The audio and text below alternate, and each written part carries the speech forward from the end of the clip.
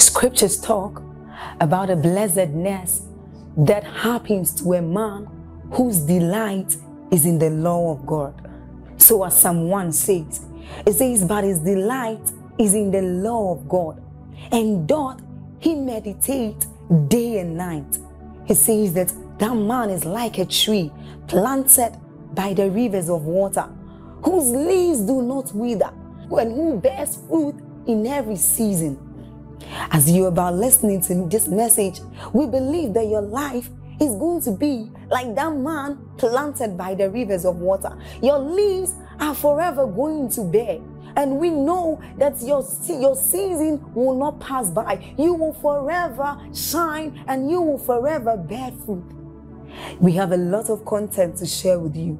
So we would entreat you to subscribe to this channel as well as like us hit that notification bell to receive more updates from us because we know that whatever content here is going to set you on course at every time. It's going to make you attain whatever stature that Christ wants you to attain. Thank you.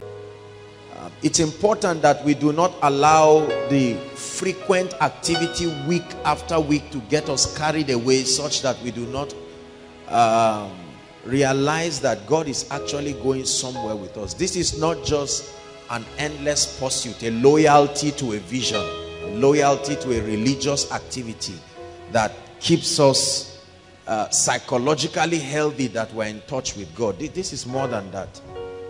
Praise the Lord. It's important that we we understand that this is not just a ministry. This is not just a church. This is a move of God and that we are through this medium connecting to the bigger picture that which God is doing upon the surface of the earth. When you realize this you will come with every sense of seriousness. Hallelujah.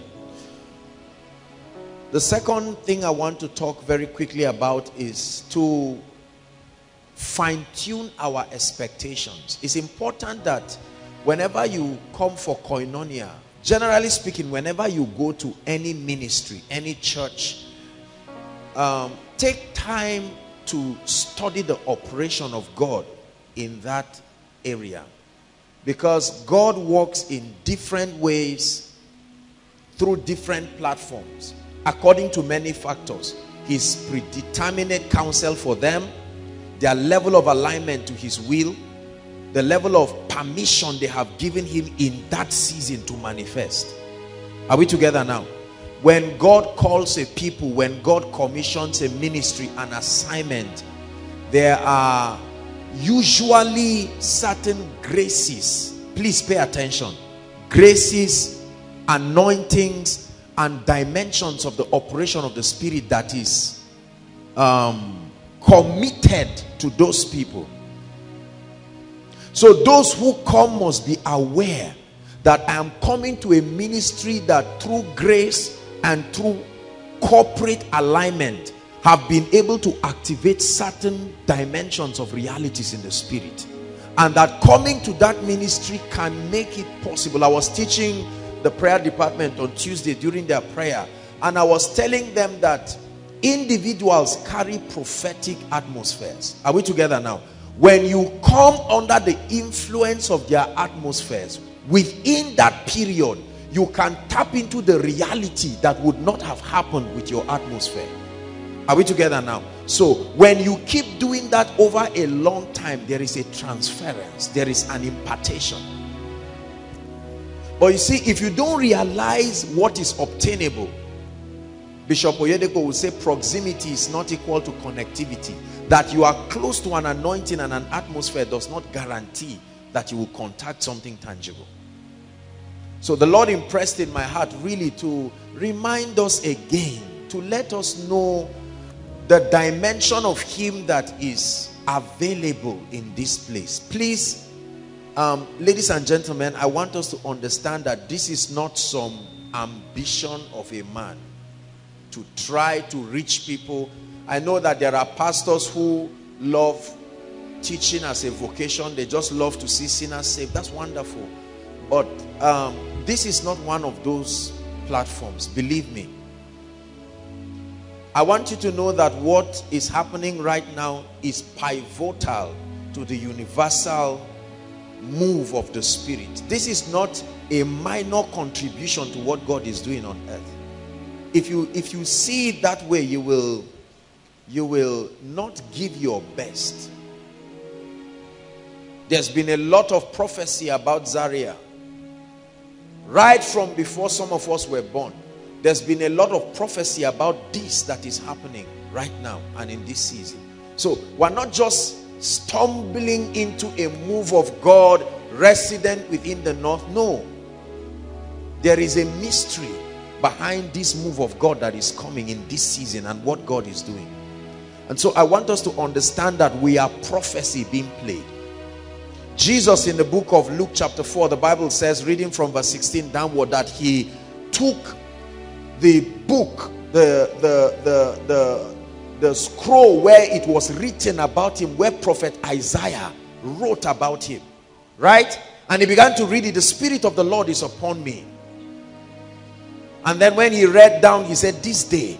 In other words, what you see is a manifestation of that. When the Holy Ghost came on the day of Pentecost, Peter told them, This is that. In other words, look, you are now seeing the manifestation of something. I pray that one day as you study the Bible, you will see koinonia there. That as you study, you will suddenly connect and say, God said this will happen. We are seeing that this is not just a circumstance, but this is prophecy. Hallelujah. I need to tell us this so that our hearts be prepared.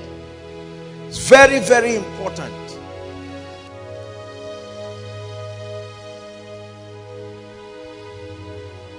There is nothing, listen, there is no major move of God that happens without being spoken about. I used to see these days years ago in visions I never knew it would be this way.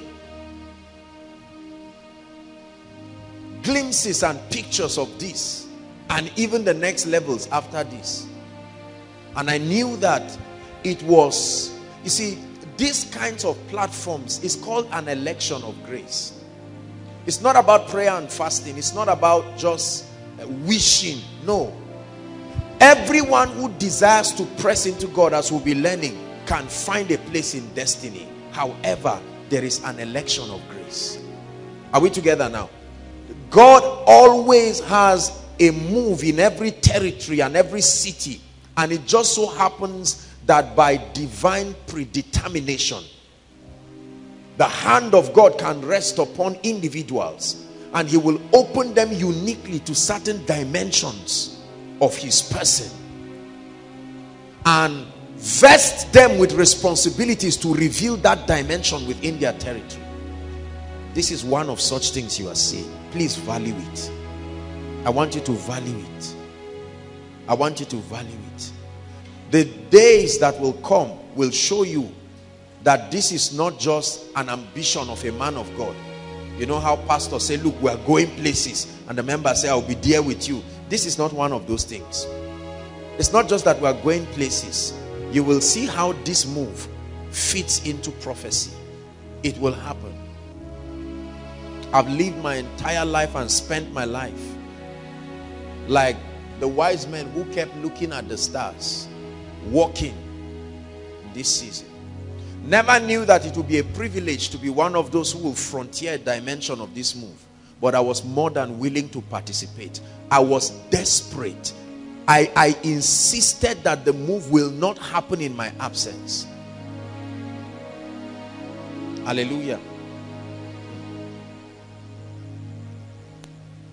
So you must you must be very intentional.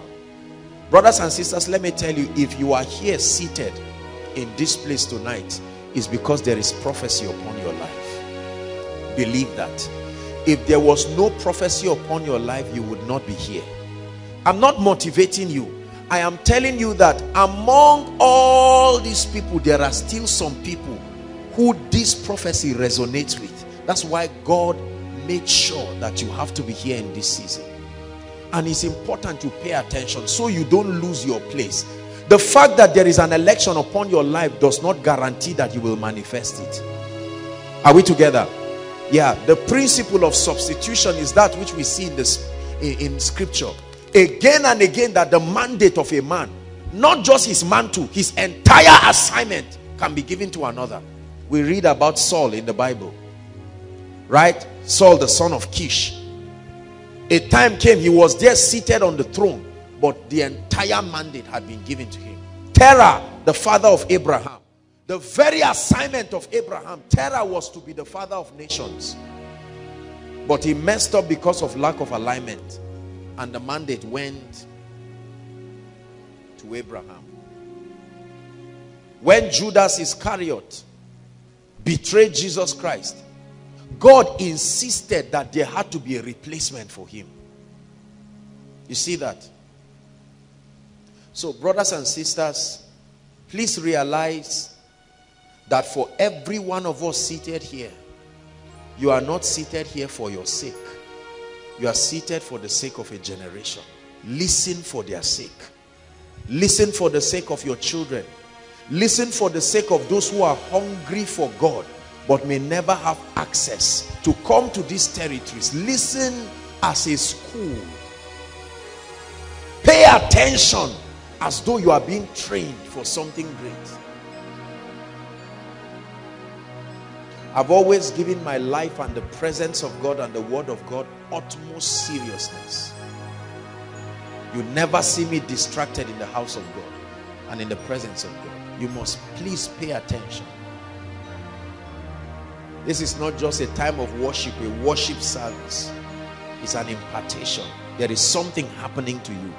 There is growth there is ascendance in the spirit four things i want you to always expect when you come here. Number one this place is a place of encounter. Please never forget this.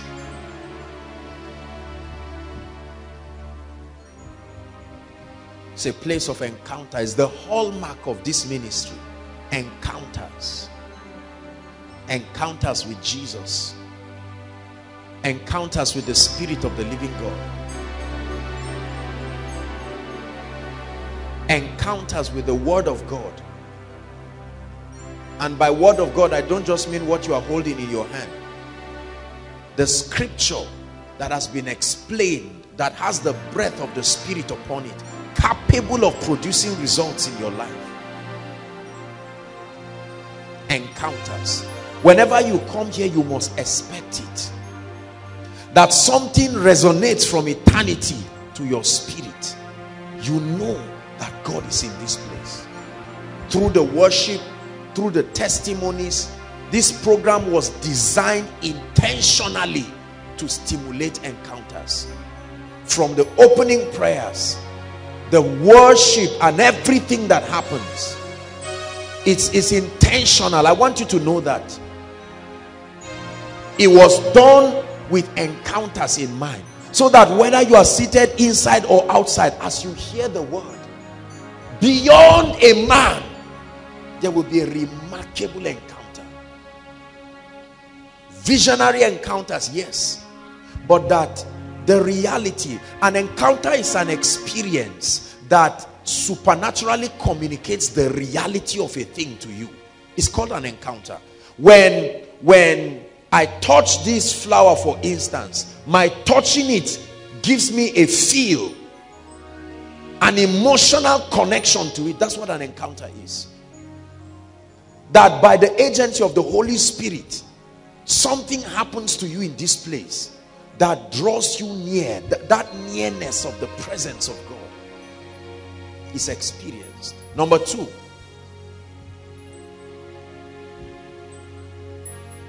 Whenever you come to this place, expect remarkable transformation.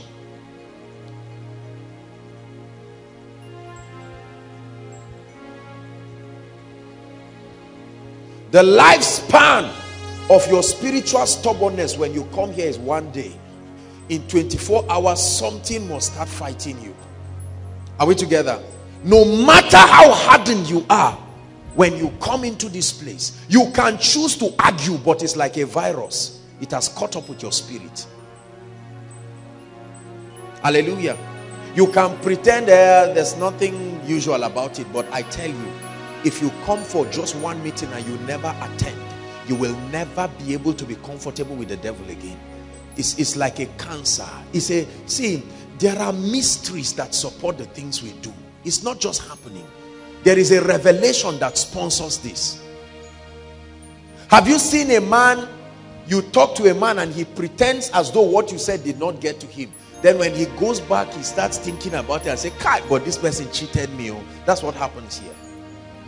So when the word of God comes upon your spirit, there is a system that has been designed by grace that it stays. It sticks to you and starts fighting everything that is not of God. Hallelujah. Radical transformation. I trust that God will grant us grace that would be able to fetch in the testimonies from the now millions of people, literally without exaggeration, of people that have been blessed just through these teachings. 70% of the people that have been blessed through this ministry have never seen me as a person. There is a mystery to these teachings. The presence of God and its power to change people. I've gone for meetings and seen people talk and I thought I was hearing myself. And I looked at them and they said, sir, you have never seen me, but I have 200 of your messages. I have 250 of your messages. I have your message till last week. That's the power of transformation. To change state. Right? So when you come here, there is a paradigm shift. The messages are so designed not just to whet your appetite spiritually. There are lots of messages that stimulate you to desire the spirit more, but there are not definite things you hold. I teach especially in points because I want your mind to be able to hold on to something. When you want to create a paradigm shift, the new ideas you are bringing must be clear enough for the people to understand and receive. We're replacing old philosophies we're replacing old ideas about God, about life. And this is happening by the power of the word. Hallelujah. Mental and intellectual alignment. Still part of radical transformation. One of the things that the Lord taught me as I have walked with the Lord and I have incorporated it even in this ministry is balance. Everybody say balance. I've said it again. One of the things that I have um, I have been disturbed about in the body of Christ is the degree of imbalance. Imbalance can hurt you as much as a lie. Are, are you following me now? Imbalance can do you almost the same catastrophe as a lie.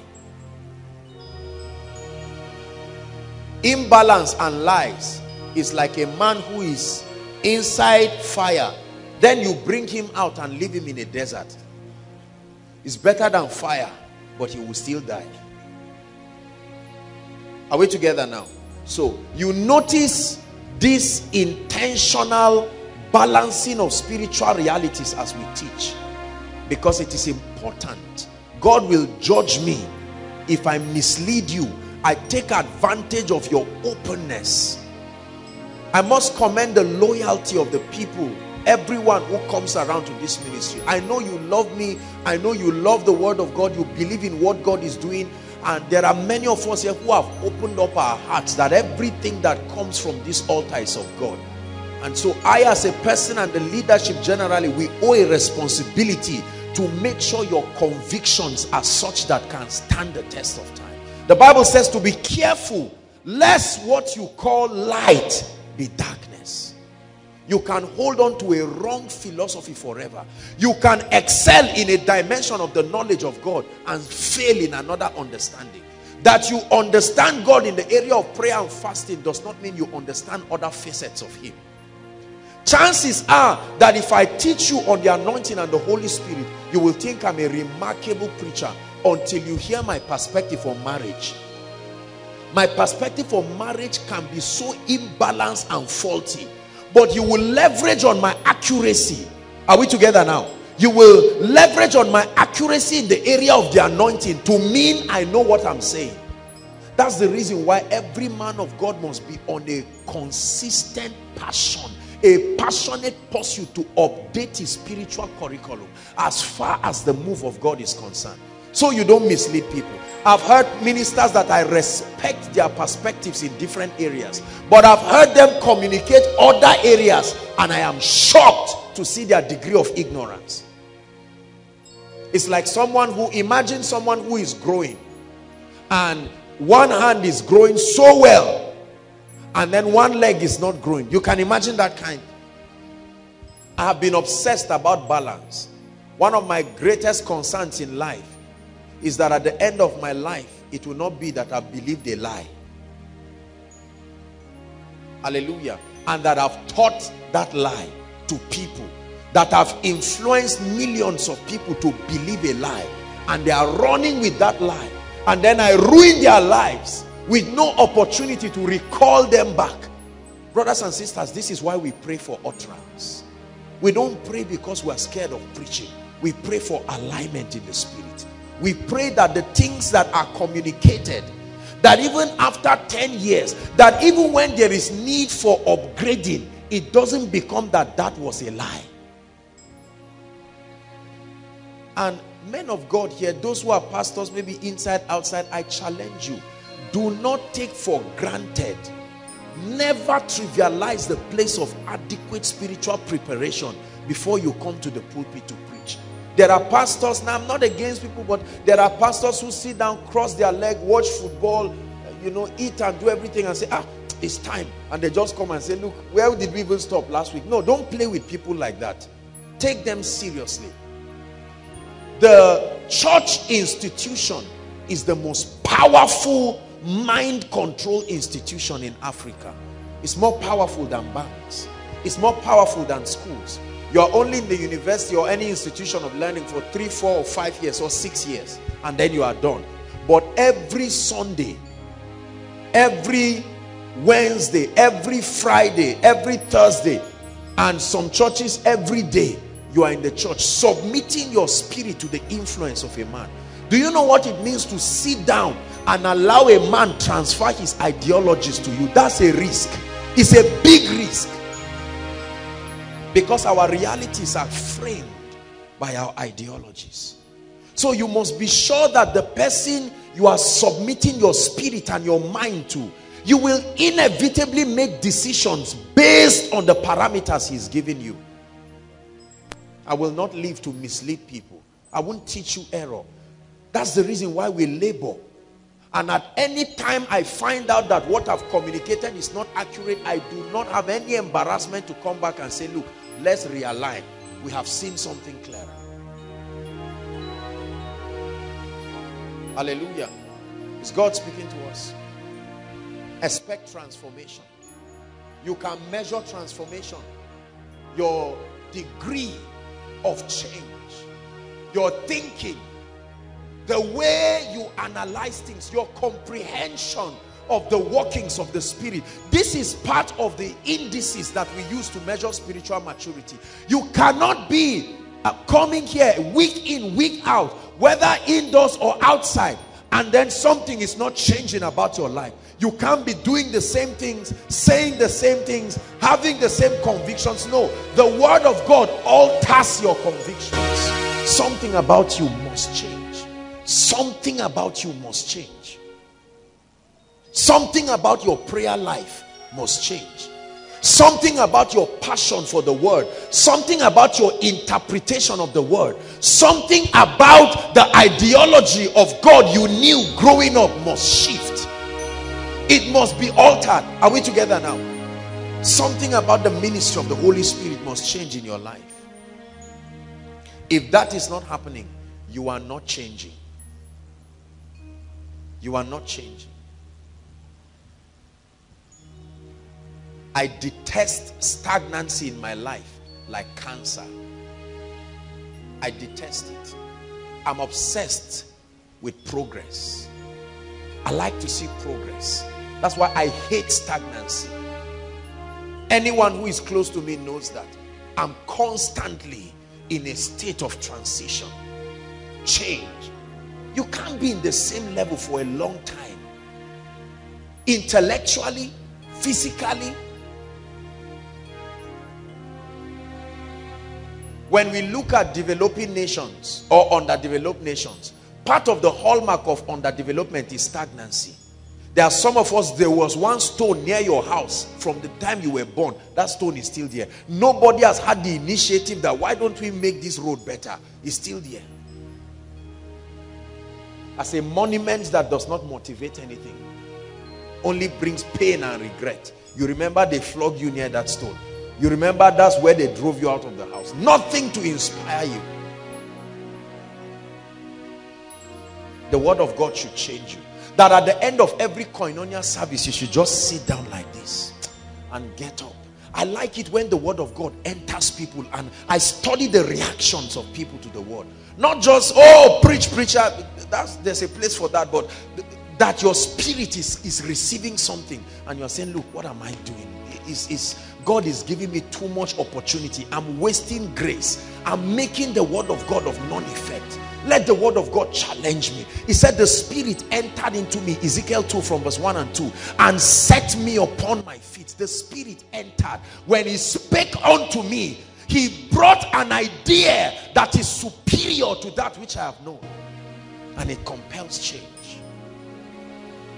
Change with results immediately. That you can get up and make certain resolutions immediately.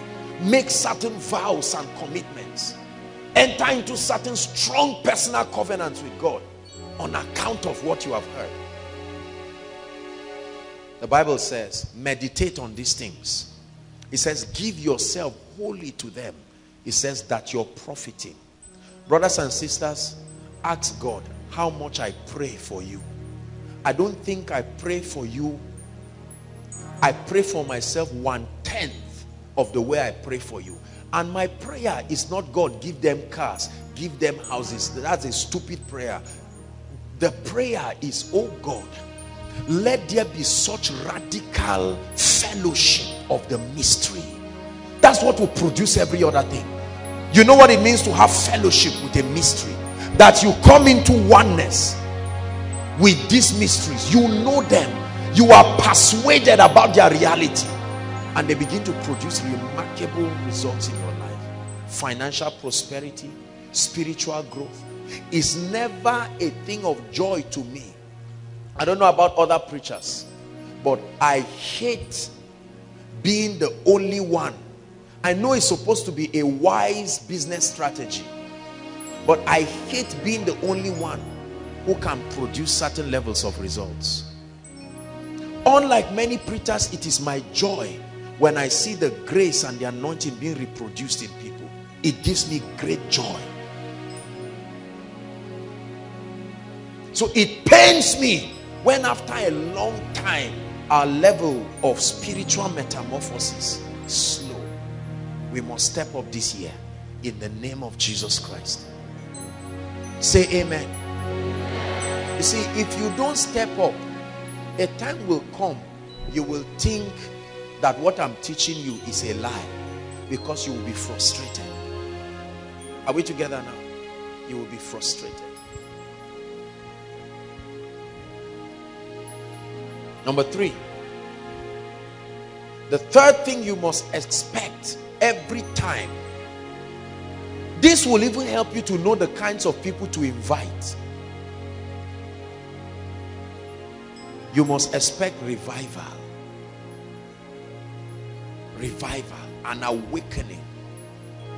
This is a place a portal in the spirit where people who have been weary spiritually where people who have given up maybe people who used to carry mantles and graces pastors who used to walk with fire churches that used to burn. Something happened for whatever reason this is the place to come and find restoration that you can say look i don't know what is wrong with me I used to love God. I used to be passionate. Now I don't know what is happening. Let me go and find out. Part of the vision God has given us is to make this place a place of refiring. a place of revival. Hallelujah. That in in the days of the generals, they had places, the doors of the churches were open 24 hours. There were times it was like they had hosted heaven in that city. You didn't even need a pastor. If something was wrong with you, just go there and lie down. We've had a few of those places, even in this place. Many of you do not know. Some years ago in the campus, where used to be lawn tennis court, there were so much spiritual investments in that place, it became an open heavens, literally. That's when you see people carry their results. Probation, they just go and lie down with rechargeable. No prayer. They are just saying, Lord, kill me here. If, if it, it, it, it was called a court where matters of destiny were settled. A sister who no brother is coming to just goes there and say, Lord, I'm here. I'm here for you. I'm, I'm here for you. And I'm telling you, mantles that fell upon people. This is a preface to what I'm about to share tonight. We must restore mantles back to the church. We must restore physical portals on earth where men can run to like cities of refuge. It's a terrible thing when your spirit is affected and there's no place like a hospital where you can go and be sure. Imagine if all the hospitals in Nigeria go on strike. We'll give birth on the road. People will die in cars. The moment somebody has an accident, we run and you see the confidence of the doctors. You are welcome. They don't move with hospitals around. They station it in a place and you see all kinds of skills to get to the hospital. Those who trek those on bike they just want to get there because they know if i arrive i'm i don't even know what is wrong with me. I think it's headache but let the doctor speak. And when certain doctors try and it fails they refer you to certain people who have labored in this medical field. They are called specialists. They look at you and they say go and lie down. We're operating you. Something is wrong. Ah doctor what? Lie down. We have seen many of these kind of cases. You are not feeling fine Do we have those kinds of spiritual platforms in the body of Christ today? Every city is supposed to have these provisions. When a city does not have that provision, there is no apostolic authority over their city. The hallmark of true apostolic authority is to have a center that represents the place of kingdom activities in a city where the law springs forth and governs the activities of a city. Please, I want you to hear what I'm saying. You can know that darkness prevails over a city by finding out whether there are apostolic authorities. It's not a name, it's not a title, it's an office. They are the gatekeepers of the happenings of God in that city. They communicate in partnership with the prophetic when seasons change and they alert the church. When darkness is about to enter that city, they are the eyes that see and stand on behalf of the city. Stop koinonia for one month and see what will happen in this city. That's when you will know what we represent in the spirit. Never make a mistake that is just the activity of young people. God's idea is that in every city there must be apostolic authorities. But because of the disalignment of many people, those who have called have, have been called have refused to align God will have to multiply grace and spread the influence of a territory to take care of others while he raises those who will stand there. This is the concept of multiplication of grace. When people refuse the alignment and the price of the spirit, God will have to come to his servant and say, this was initially not in your curriculum, but to not to frustrate my counsel. I know how uneasy it is for you but I will multiply your grace. You see that? When I multiply your grace I will stretch your boundaries so that your apostolic coverage like a territory will also enter certain dimensions. You will know when an apostolic authority has expanded. You will see the influence of that ideology see let me tell you the church in Nigeria our order of ministry is wrong because the heads of the church in Nigeria are pastors. I don't mean pastors like Kaito. It was never that design. But there is a sudden restoration.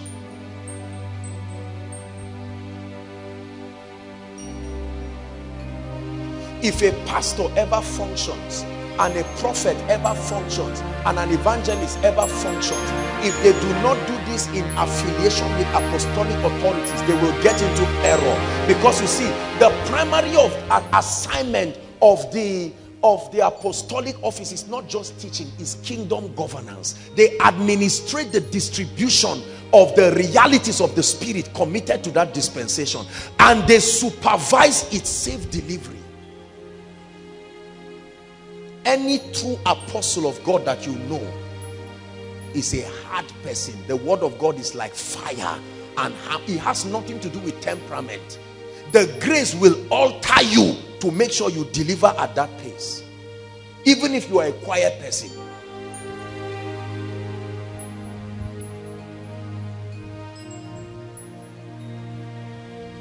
They're coming from afar they're coming from afar. Oh, oh, oh, oh, oh,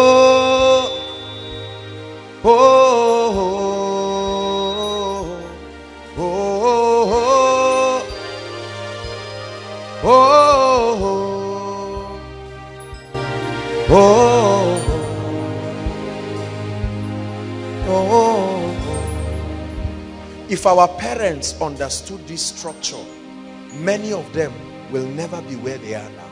They are sincere people, but they are victims of the disorganization of the church. So they had nobody to learn and nobody to challenge who was lying to them.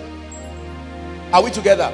The church structure was so designed such that anybody can teach anything and claim he's 20 years in ministry. When it comes to these matters, is by the Spirit. No, it's by the Spirit. You don't say I'm 120 years old and you are teaching nonsense and misleading God's people.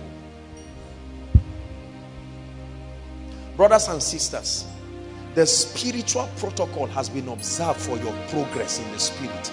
I want you to know this and take advantage of it. We are not in error as to the strategies that will build you. If you don't build, is a lapse on your own part. Hallelujah. Praise the Lord. So revival. Oh, may this place remain a place. If you know people who are weary and out, you can just drag them. Somebody tells you, me now, I've done everything you can think about. And you are trying to talk to the person and you just tell the person, I know a place where the river flows from Zion. And I will just come and keep you in that atmosphere. The person may even come late, just like many people outside here. And while they listen, something is happening is more than the words we speak. There is a spirit communication. If it were words, believe me, you will be tired by now. There is a difference between newness and freshness.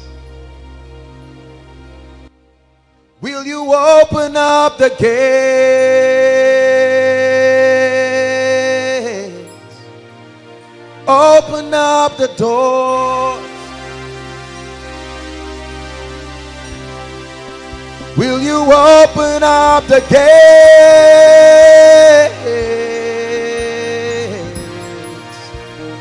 Open up the doors. Mandala Kaparadosh. Will you open up the gate?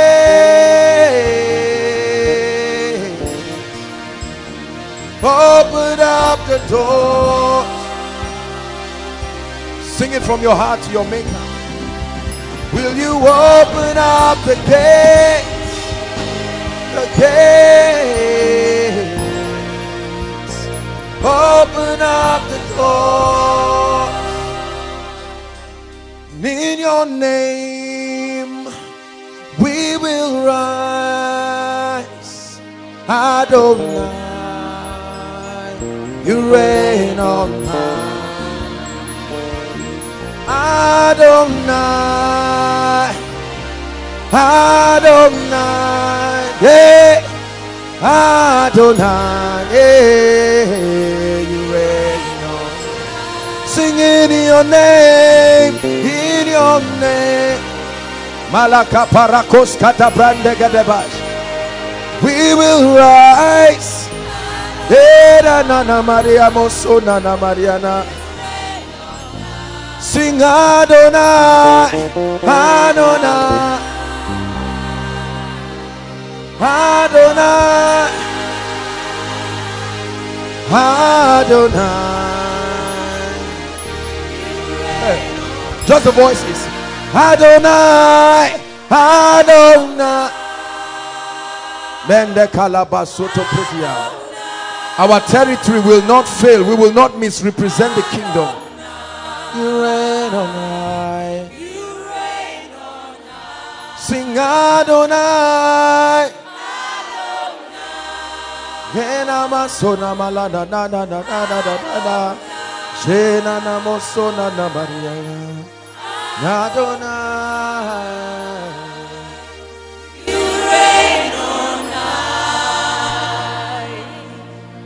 Please sit down if you can. Be sensitive to what God is doing tonight.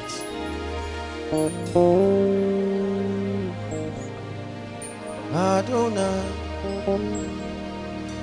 you reign on high.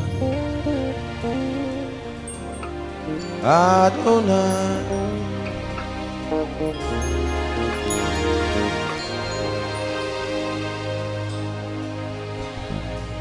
Adonai. The last thing to expect every time you come for koinonia is a demonstration of the power of God. It's a doom to any territory where there are no instruments that can bring the supernatural to a people.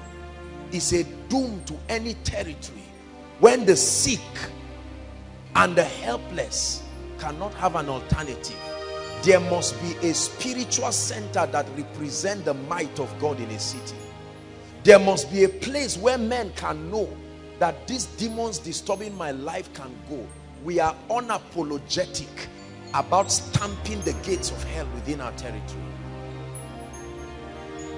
in the time of John G. Lake Spokane was said to be the cleanest city hallelujah E.W. Kenyon. So many people have received his message without carrying his mantle. A truck hit somebody in his church, pieces the leg. He stood in front of it and the leg started shaking and every bone joined back. It was not a strange miracle. That was the miracle of Azusa. We have lost so much we are not aware we don't know our spiritual heritage pastors don't research. They just get up and preach nonsense. Nonsense! And everybody claims he's doing something. I don't say this in a cynical way. My heart is pain because there are souls that are lean and hungry. Nothing current in what the spirit is doing. We celebrate these things and we justify growth because we can afford to buy suit and we have a nice car to prove that it is working. Is that how much we love the body? We have lost touch with our spiritual heritage. We don't know what happened before we came. And we have the audacity to believe that we are custodians of the mysteries of God. A custodian of a mystery is also a historian. One who meticulously studies the dealings of God. How did God move in the 50s? How did God move in the 60s? How did God move in the 80s? When revivals died, what happened? Have you not read of prophets in the Bible who spent their life searching prophecy?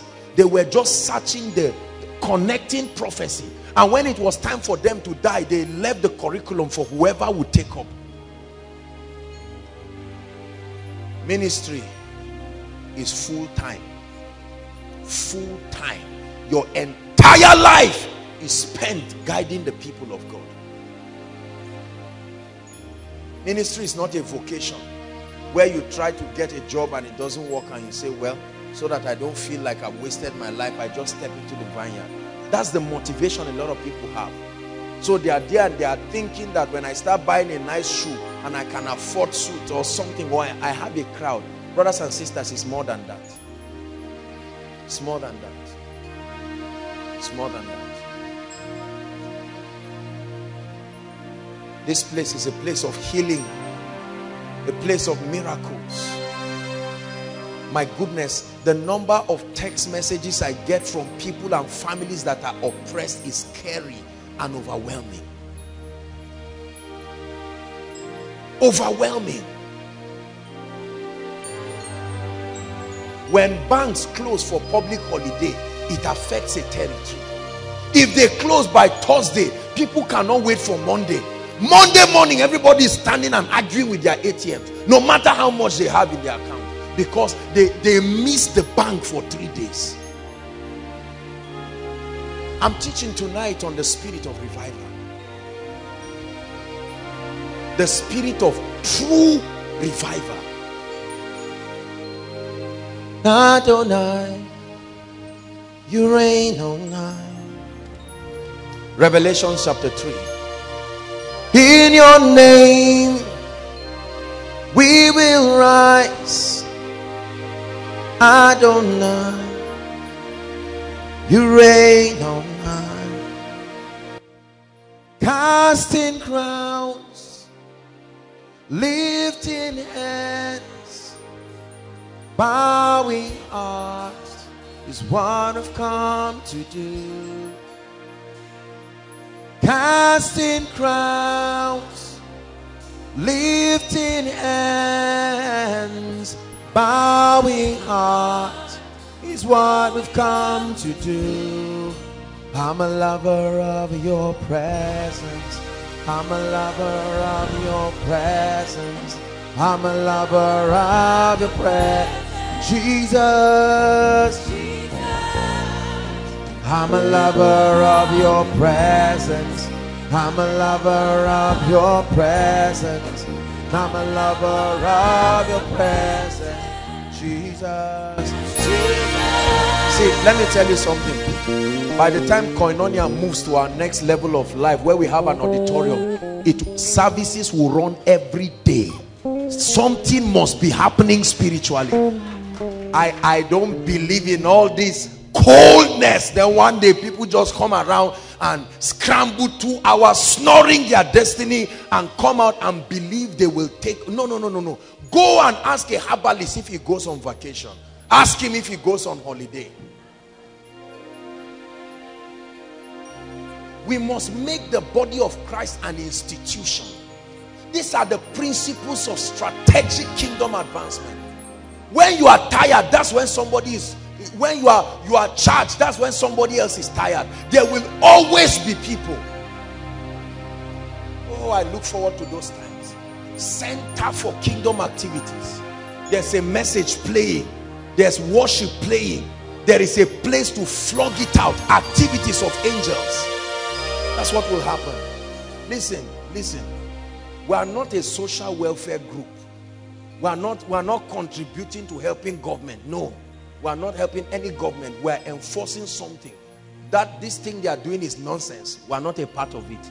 We are loyal citizens but this is not our ideology. So i'm not i'm not in partnership with any government doing anything. We are not social welfare. We are bringing the kingdom and its reality into a tent.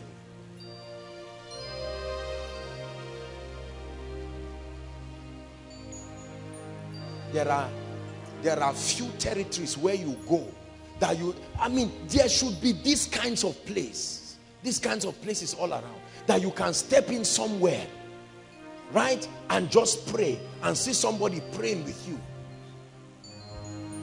A christian library books about generals where you go and sit down and study. There are dvds playing archives not conferences places to build, not branches, centers that educate people on what God is doing. When we lose touch with history, we will die a natural death.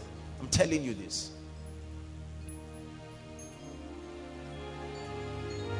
Hallelujah. Your rent has expired. Nobody is helping you.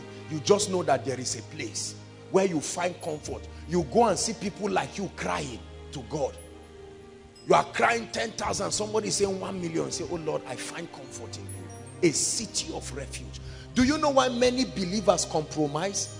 There is no kingdom community. that community life of the kingdom is not there. There is no place they can retreat to when they have been wounded and beaten by darkness. When their faith is stretched, there is hardly a place where they can go and find refuge. And you try to create those places and see the gate of hell rise. They will allow you to do any conference you want. But make up your mind to create a physical portal for people. All hell will fight it. And those people will usually be Christians.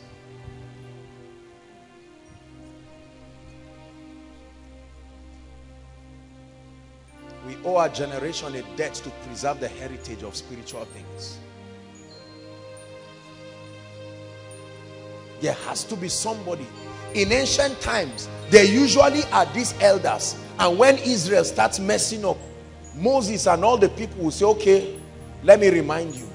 Because then some of you were not born. How by a mighty outstretched arm he brought us out of Egypt. Right? He did this and that and the people are listening. And at the end of it, the people say, ah, we repent. We will serve the Lord. Satan's plot is to destroy people like us so that there, there, there's there no more there, there, will no longer be voices that can connect people and everybody will start doing anything he wants to do called church we, we must re-examine this thing we have been doing called church because it's not producing the required result. I'm telling you.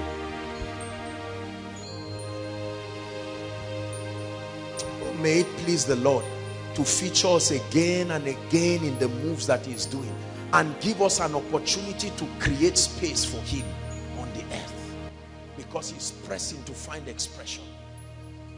When, when Anna was mocked by Peninnah, where did she run to? Was it closed? She knew where to run to Right now, let me tell you where we run to. Every other place is closed, only the herbal home. The man says, I'm, I'm here any day, anytime. Just come with your goat. And you see a Christian dragging a he goat to a, a herbal home. And we have the mouth to criticize them. We have the mouth to call everybody fake. There are pastors who call everybody aside from them fake. Right? Ask them what contribution they are bringing in building the body. Let me tell you, if I'm sick, if I were not born again and I'm sick and dying, I will go to any herbalist. I don't care anybody that is talking to me. I hear what I'm saying? I will not do it in the secret. I will do it openly. How many people have died in the church who should not die? Because they will not come and be healed and be delivered because of loyalty to an ideology that somebody told them. There are people who are sick today. They are dying. Some of them will come and ring my phone and disturb me to come and meet me in the night. They will criticize me in the day and call in the night. You reign, you ancient Zion's king. Kadosh, Kadosh, you are mighty on your throne. Oh, sing thou fountains of the deep, and weep, Kadosh, you are mighty on your throne. Break forth, thou spirit of the deep, and weep, Kadosh, you are mighty on your. You are mighty on your. Mighty on your mighty on your mighty on your. You are mighty in this place, mighty on your throne, mighty on your throne, mighty on your.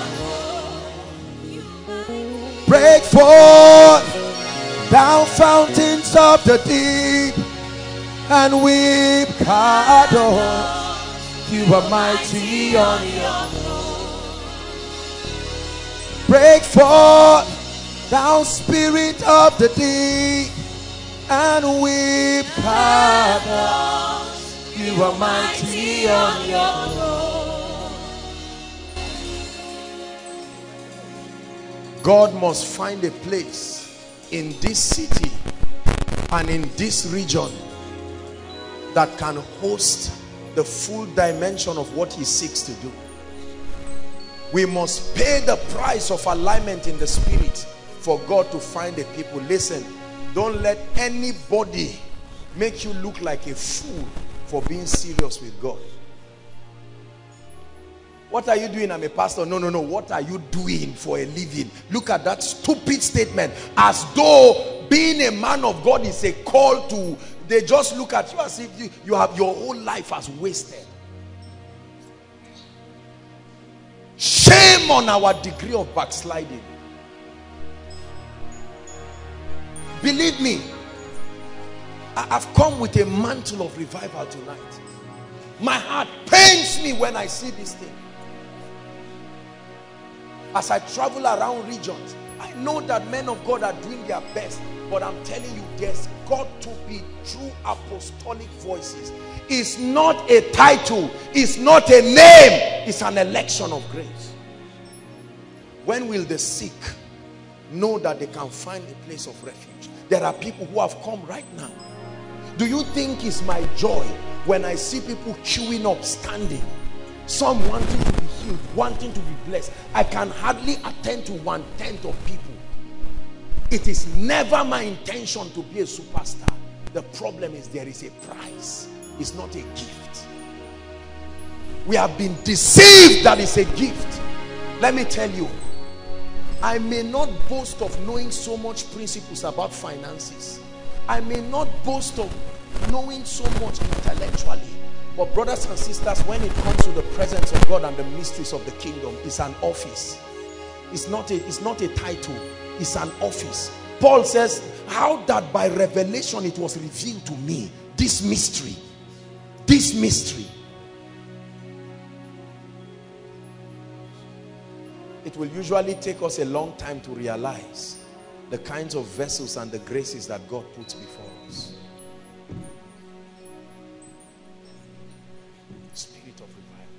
There's too much backsliding in the body of Christ.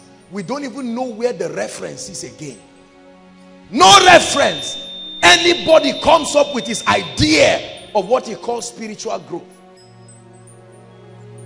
No reference. You pray a little, people are looking, they are feeling offended for your prayer life because they are hoping you backslide so that it will, it will, it will make them comfortable your your fire is frustrating them because they don't want to grow. And seeing you increase is frustrating them. Recycling of revelations in the body of Christ. Because men cannot stay in the secret to pray the price and bring something fresh. Things are happening over territories. We pastors are moving around with deaf ears no seeing eyes no hearing ear. Please we are going to pray just for one minute before I continue. Are we together? You are going to say, Lord, revive my life. Revive my life. Please pray. Inside and outside, pray. Revive my life.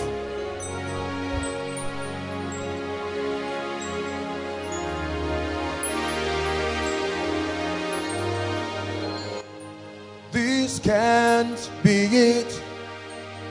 God is so much bigger than this. This can't be it. My God is so much bigger than this. Yeah, this can't be it. God is so much bigger than this.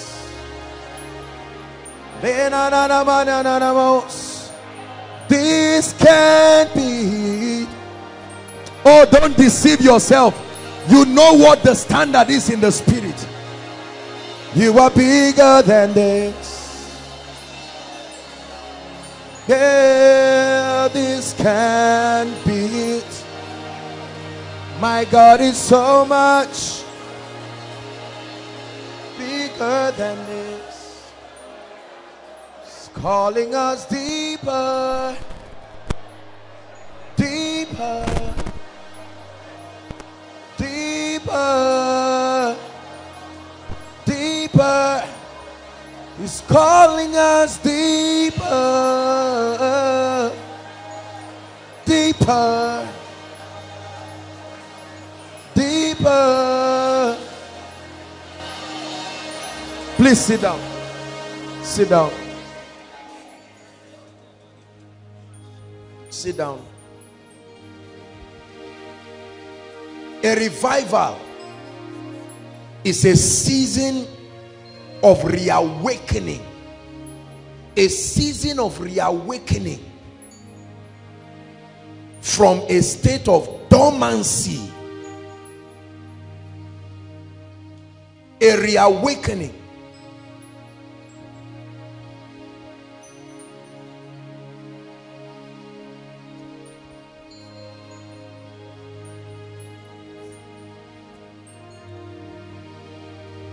A season of reawakening from a state of dormancy in the life of a people and a territory.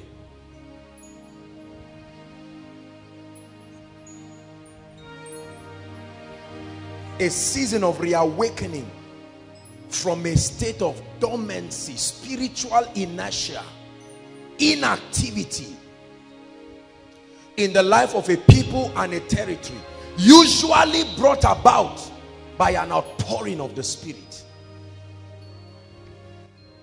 A season of reawakening in the life of individuals and corporately across a territory.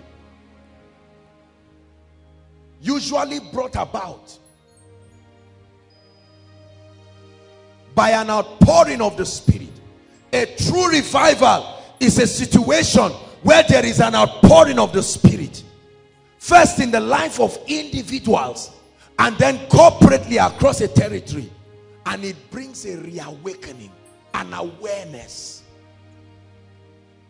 I'm going to be very fast because i want us to pray.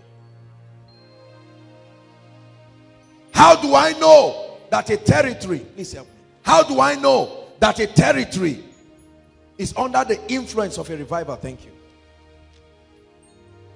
there are certain parameters. Number one, the first sign that a territory is under a revival is restoration of love and passion for God. Corporately, not just individually.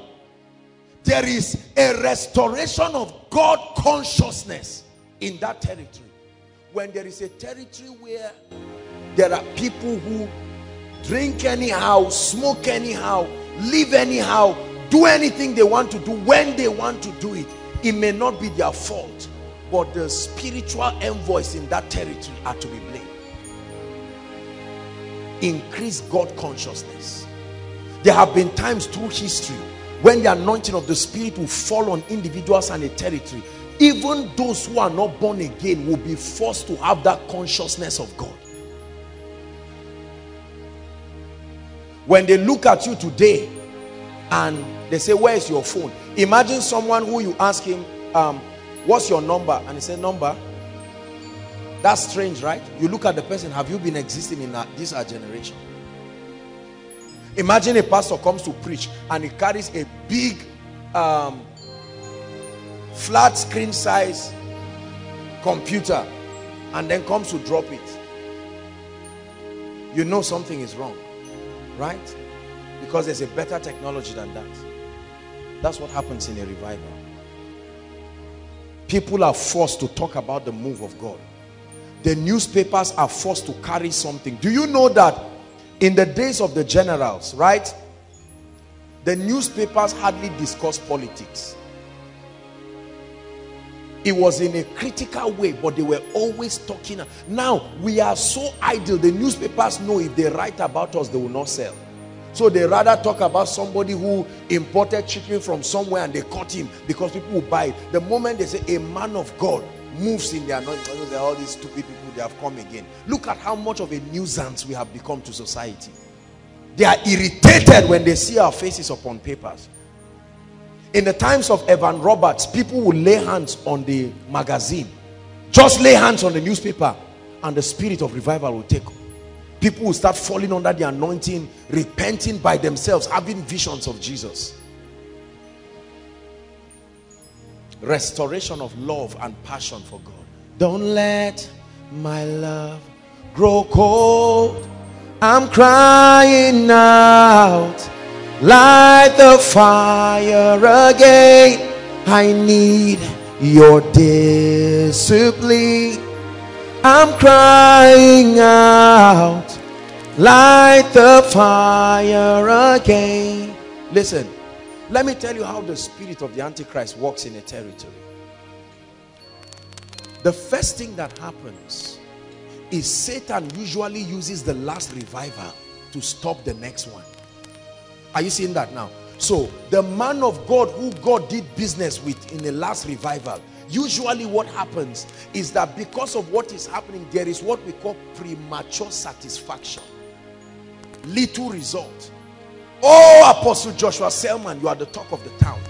The, Satan takes advantage of that because he knows we like it. We like names. We like titles. We like accolades. Oh, here comes the man of God. The one who raises the dead and, and, and heals the sick. And we, we pride ourselves to our detriment. We love honor. There is an obsession about it. We can do anything for it. Including backsliding. So what happens is that people keep watching. The devil keeps watching this thing. Your prayerlessness starts increasing your wordlessness starts increasing but he will never strike. He will allow you and then he will throw all kinds of persecutions. Get my teaching why revivals die. You know all those kinds of things together. When that person is watered down God no longer has a voice. Listen there is a difference between God speaking to you in your secret place and God speaking to a territory. God has his mouthpieces everywhere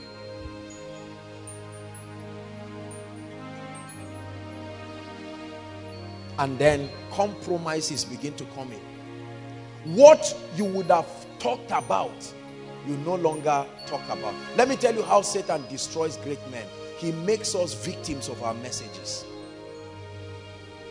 If satan knows that god has anointed me to liberate people in an area he will do everything within his power to make me a victim of those areas. The reason is because when that happens, you no longer will have the confidence to preach with might. Are you seeing why you need discipline? Love for God. Love for God.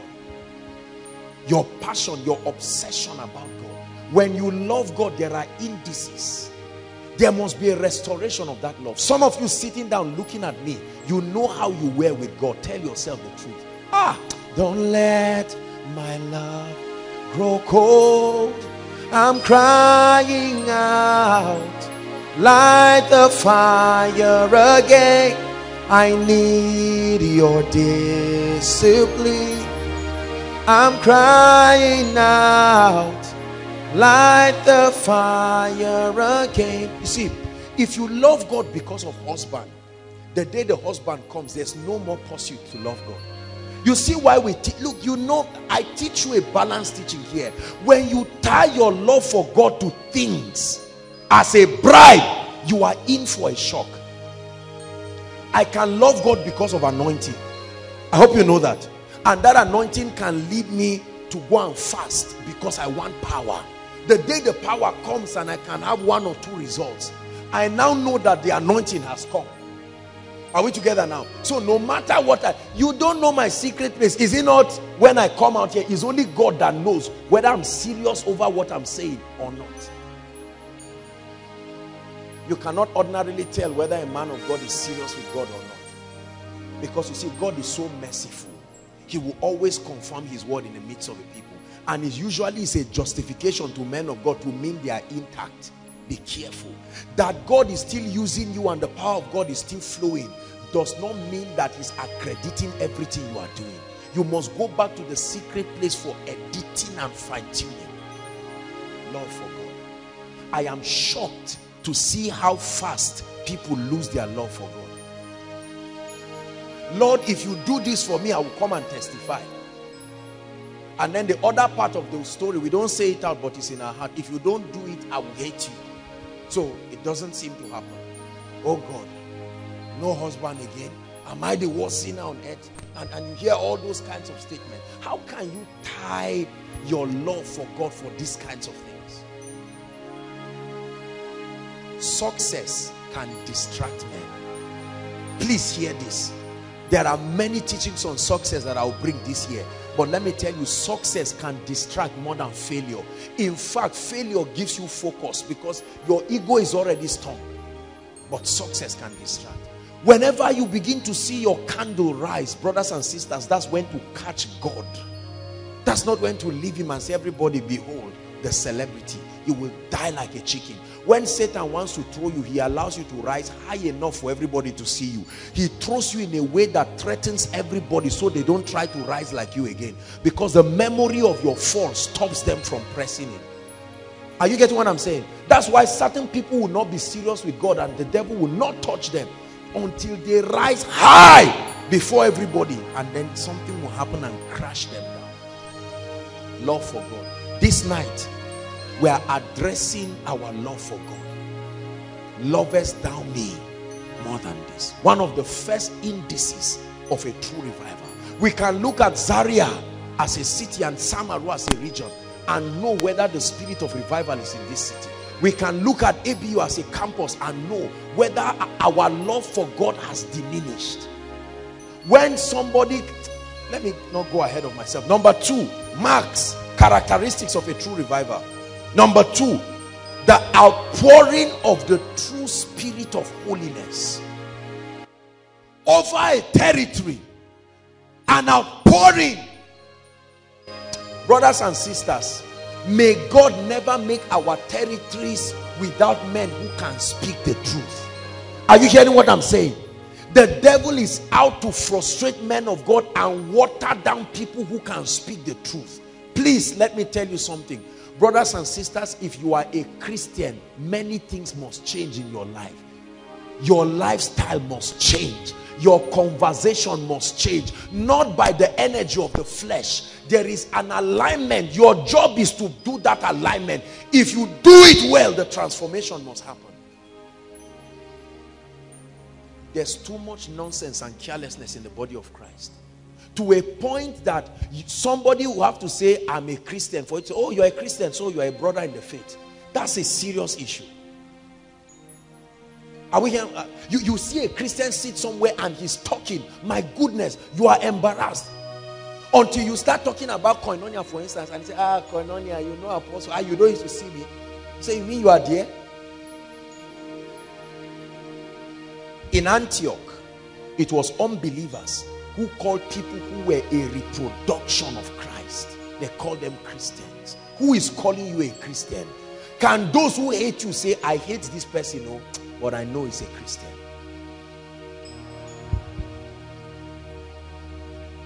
You can't be drinking and smoking and say it's just my body that is drinking, my spirit is okay. You are not all right. Please, let's let's end this. You are not all right. Let me tell you the truth. No, you are not all right you are watching porn. See you see let me tell you something. I'm not condemning you don't get me wrong. The difference between a christian and an unbeliever is the presence of the convicting power of the spirit. When when you are sinning unconvicted you are not in christ. Are you getting what i'm saying now? Yeah. If by the work of the flesh somebody falls into habit you went to your friends reminded you of Gulder that you used to take. You don't know what happened. You gave into the flesh. That conviction is a sign that you are in Christ, that you can return. And the Bible says, if we say we have no sin, we deceive ourselves. It says, and the truth is not in us. It said, but if we confess our sins, not assume they are not there. If we confess our sins, not assume they are not there. It says, God is faithful and just to forgive us our sins and cleanse us from all unrighteousness. Have you turned that out of your Bible? Because it's supposed to be there. The true spirit of holiness. Please, I speak especially to the young people. All of us who are young people in this region, let's not make it look like being a young person is a stupid thing. Are we together? Some people were discussing me somewhere and uh, I got to hear, of course, one of the ladies said, ah, this person, you mean there are all these beautiful girls in Koinonia, how is he doing? Let me tell you how I'm doing. I'm very fine. Very fine. very fine healthy in the spirit very fine i intend to continue with god for a long time i decided that from the start of the journey we are afraid of the responsibility that firm decision brings. Because we know it will have to force us. We still want to enjoy some things. You see that? Because if you make a firm decision you too you know. You know a firm decision means deleting that person's phone number. But you don't want to. So you are not serious. That's the meaning. It's as simple as that. Because you live. Jesus i live I have no fear of what tomorrow brings because you live, Jesus. I live today. I live to pray. A true spirit of revival that you can see somebody kept his money and leave it there when the old man wants to touch it, he reminds you that it has been nailed to the cross. And you mind your business and leave that money there. Even though you needed money to eat. The spirit of holiness. Let me tell you, if we allow the spirit of holiness to leave our territory, we will never experience the fullness of God. We will not see miracles and signs and wonders. Please, let's not mock God. I know what I'm saying is hard, but you too, you know I'm not lying. You know I'm not lying. Don't let the spirit of holiness just run out of your life. And the key to unholiness is carelessness. Carelessness. Bros, you there? There's one party we're having. Say, eh, but I don't drink again. Say, just come, Jerry. Carelessness. Lot settled near Sodom. Lot settled near Sodom. Let Lot settle near Sodom. You take advantage of the grace of God and produce a life that is worthy. Please don't feel condemned. I speak to all of us here, those who are here and those who are following us. The goal is not to condemn you, but the goal is to create conviction by the power of the Holy Spirit. Holiness and power go hand in hand. Don't ever deceive yourself that you can compromise on holiness and experience the power of God. You can kneel down with offering and lift it to a man of God. There has to be true holiness. There has to be true holiness. I'd like you to lay hands on your head in one minute and pray and say, Lord, restore to my life the spirit of holiness. Go ahead and pray. Please pray. Especially if you know you are affected by what I'm saying, please pray. This is a threshing floor. It's a family. Please lay your hands and say, Lord, I've been pretending as if this is not an issue. But tonight, you have brought your word out of love. Not to condemn me, but to remind me that you are still waiting. I receive a baptism of the spirit of holiness. Those outside, please make sure you are laying your hand. Oh, I separate myself by grace from the works of the flesh. The impulses of the flesh. The appetites of the flesh the appetite, the lust and the carnality that destroy great men. Lord, I'm going far. The spirit of holiness must come upon my life. It must come upon my life. I receive a restoration. Lord, I used to have it, but something happened. I gave in to women. I gave in to men. I gave in to drinking. I gave in to wrong relationships. I was lonely and I allowed, I, I frustrated the manifestation. But tonight, oh God, in this place, I receive grace, grace, grace. It's not by the strength of the flesh. You can't resist evil by the strength of the flesh. Remember the cross, the place where grace comes from. Your old man has been nailed. Therefore, mortify your body Take advantage of that grace. Let it become an instrument of righteousness. Please pray. It's a year of multiplied grace and influence. God is not a native doctor. Godliness. True holiness. That's why many of our fathers have lost touch with spiritual reality.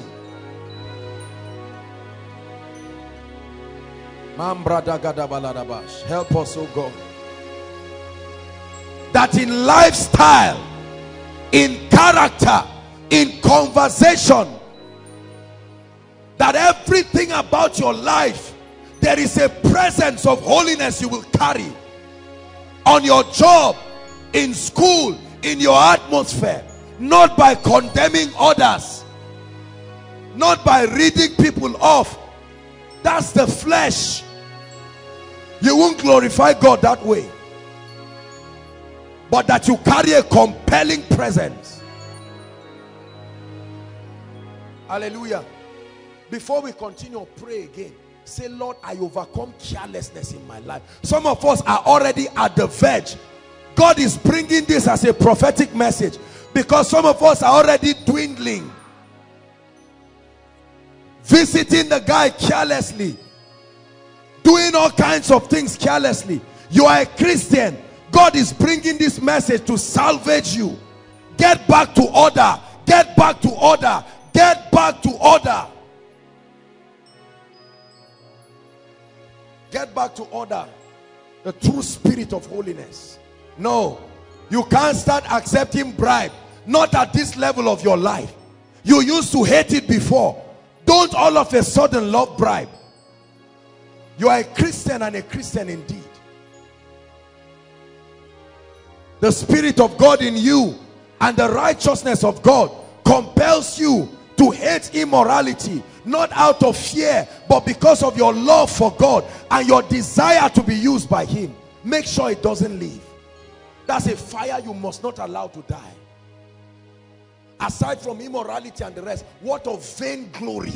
What of self-seeking what of vanity ambitions that are not consistent with Christ? Please pray. This is a threshing floor tonight. Those of us outside make sure you are praying. If nobody has told you there is a problem with your life i'm telling you there is. If you are giving room to the flesh i don't care what excuse you bring. God does not condemn but he does not condone evil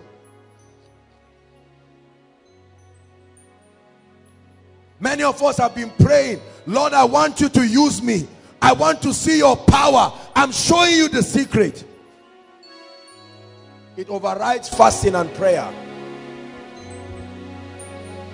Hallelujah. Let's hurry up. Number three. The third sign to know that there is a true revival in a place. The third sign is massive salvation of souls. Genuine salvation. Genuine salvation. Genuine salvation. It's not enough for people to come and be saved. They must be saved well. Well to stay well and grow. Massive salvation that is engineered by those who are custodians of that revival listen if there is no true passion for souls in your heart something is wrong let me prove to you that it's unnatural. How many of you have seen a scene where there is an accident? Nobody asks who is a Christian there or who is a Muslim. Everybody rushes because they want to save them from dying. Every time you see sinners, I want you to imagine an accident scene. Imagine a fatal accident. What would you do? There are some of us, we have roommates, we have people in our workplaces. It's until maybe three months you leave Zaria that they stumble across Koinonia and they come and find you there. And you see them crying and say this is what you have been enjoying. Say I'm too fine. How can I tell this guy to come? How can I lead him to Christ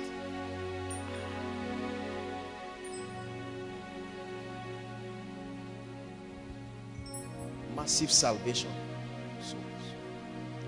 by the way the Lord while I was preparing this the Lord gave me an instruction. I'll say during the announcement, but then let me say it again. By God's grace, next Friday's miracle service, you're coming with two sets of requests. The first is the names of your family members and loved ones, those who you have tried to get them born again. Come and watch God will do for them this year. You will watch what God will do. He will surprise you. Are, are we, are, please, you are permitted to write a full scrap sheet of names if you have it. Write it down. Write no matter, I don't care who they are. Don't you let the devil tell you God cannot save any man. If he saved you, he can save any man.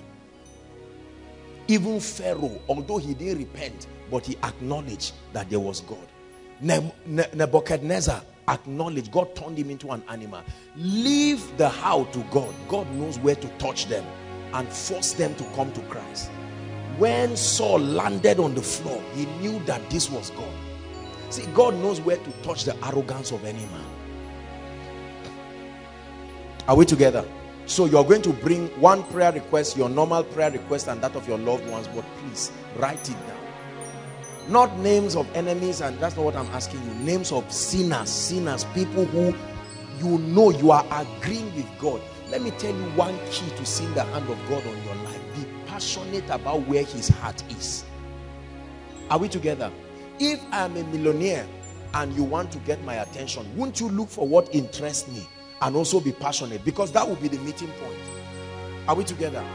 We want to call God's attention, but we are not facing where his heart is facing. It's not enough to pray and fast. You must be serious about sinners. There are some of us when we make altar calls here, you now look at time and say, God, let's hurry up. To you, it's not a big deal. You've forgotten that he saved you. You've forgotten that that person he's saving now may be the first in a family of 10 to be born again. I remember one of our ladies who years ago they were all unbelievers, you know, non-Christians now I mean. And God, I mean, saved her. She became saved, I think, while on campus. And we kept praying like this in the initial days when we used to start our meetings. God touched her brother. I think God touched her mother Three of them were all saved, remaining the father. The father was a hardened, he wasn't somebody who was near the kingdom. We told her, keep praying. Don't say God will not touch them. Keep praying. One day, she received a call. He was saved in living faith. When he was saved, I was told reliably that they took money at the back of the boot of a car. Is I don't know, it's like his family members. They drove down and say, which depression are you in that would have made you to become a Christian. Ah, you will see salvations that will scare you. The day you go and look at somebody in your family, you will think it's a mistake. You just say, you say, what are you doing? Say, I'm praying in tongues. Say, are you joking? Say, I, am a sanctuary keeper. I'm, I'm, I've, I've left the world since. I used to have a bad colleague years ago. One time, I heard that he was a pastor in Salem ministry. I said, it's a lie The one day he called me and we are talking. We just spoke and about ah, I said, Tell me it's a joke. Tell me it's a joke. These guys were the fence jumpers. These guys were the ones they carry in the gutter in the morning. And now he has been changed. Please don't conclude on any man. Don't conclude on any man. That roommate you are seeing, you know every Friday she's not around till Monday morning. Wait and see what God does with her. The reason why we don't evangelize is because we don't believe God can touch people. There's nobody on earth today that God cannot save. There is hope for the living. There is hope for the living. Is God helping us? Please, we are going to see massive salvation. Make sure you don't allow people without, you can give them koinonia messages. You can pray for them. If you don't have the courage, drag them and bring them to koinonia. Just like many people, as I'm talking now, there are many people who respond to the altar call right now. They came because they were invited. When you love souls, you can pay for them to come. If 50 naira is too much for you to pay transport for someone to come and get born again, don't say you love God. Don't say you love God. When a guy loves a lady, he can have 5,000 in his account. He will withdraw it, leave the minimum balance and tell her eat. She say, I don't want to stress your body. Say, no, no, no, don't eat. It's me that is paying for this thing. But when it comes to souls, we are afraid. We're, someone is telling you, I, I would love God, but he's giving flimsy excuses. Why don't you tell the person, two of us, let's climb bike and come? Are you that passionate and unembarrassed? Do that and see the way God wipes your tears. See, these are kingdom keys. There are no shortcuts to this thing. Souls. When I pray many times, I say, Oh God, use koinonia as a platform to save sinners. You see my heart when we make altar calls and people are coming. I tell you, give them chance to come. I remember somebody, uh, I, I, don't know exactly, I think he was, he's, an imam or something, one of these, these uh, very strong guys. He was seated outside when I was teaching the reality of heaven and hell. This was somebody who is learned, you understand what I'm saying? And he sat down outside and was thinking. And while I was teaching, he saw a vision of Jesus outside. And he got born again. The day he came for counseling, I could not believe it. Ushers, I think one or two people. There's one of our brothers in ushers too who was like that. Now totally transformed, serving the Lord, working in the ushering department. Who told you God cannot save them? Your stubborn father, your stubborn mother, your missing brother, who comes back once in three months, I'm telling you, when the power of God lands on them, we don't know the power that raised Christ from the dead. That's why. Because all we are teaching about in church is money. We don't know the power. If a power can raise a dead body, is it to transform one who is alive that it will not change? Number four. Let's run. The fourth mark or characteristic of a true revival is passion for the house of God. Now, please hear me. I say this sincerely from the depth of my heart. And I, I mean no condemnation with this. But when as men of God we celebrate small ministries and small churches to mean no i'm like that me god gave me this i don't believe in that concept i know that crowd is not the ultimate determinant as to whether god is there but brothers and sisters people must be saved and they must have passion for the house of God because that's when they are taught the precepts of the kingdom. The church is God's portal to reveal the mysteries of the kingdom. It's not enough for people to be born again. That's why we, we collect their details. We send them text messages and follow them up. What's wrong with getting people born again and get their numbers? Once in a while, you send them a scripture. Maybe the person is about to go back to alcohol and ah, the text comes and you say, maybe it's a scripture. Love not the world. Looks at your phone, looks at that bottle, and he knows. And the Spirit of God, you have given him access to kick in, and he drops it never to pick it again. There's no support structure in the body of Christ to help sinners stand. Once they are born again, we say, okay, now just find your way back to your seat and the Lord help you. That's why when people get born again, we recommend to them.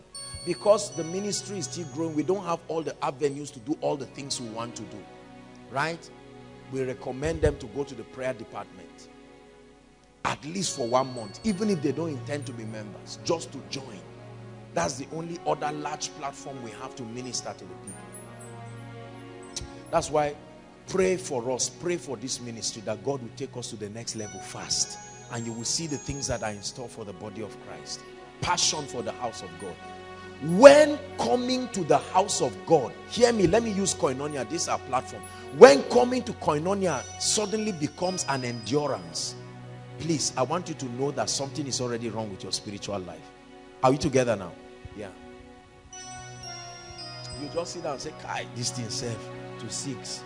I will even sit down outside. It's like it's cold, Abby.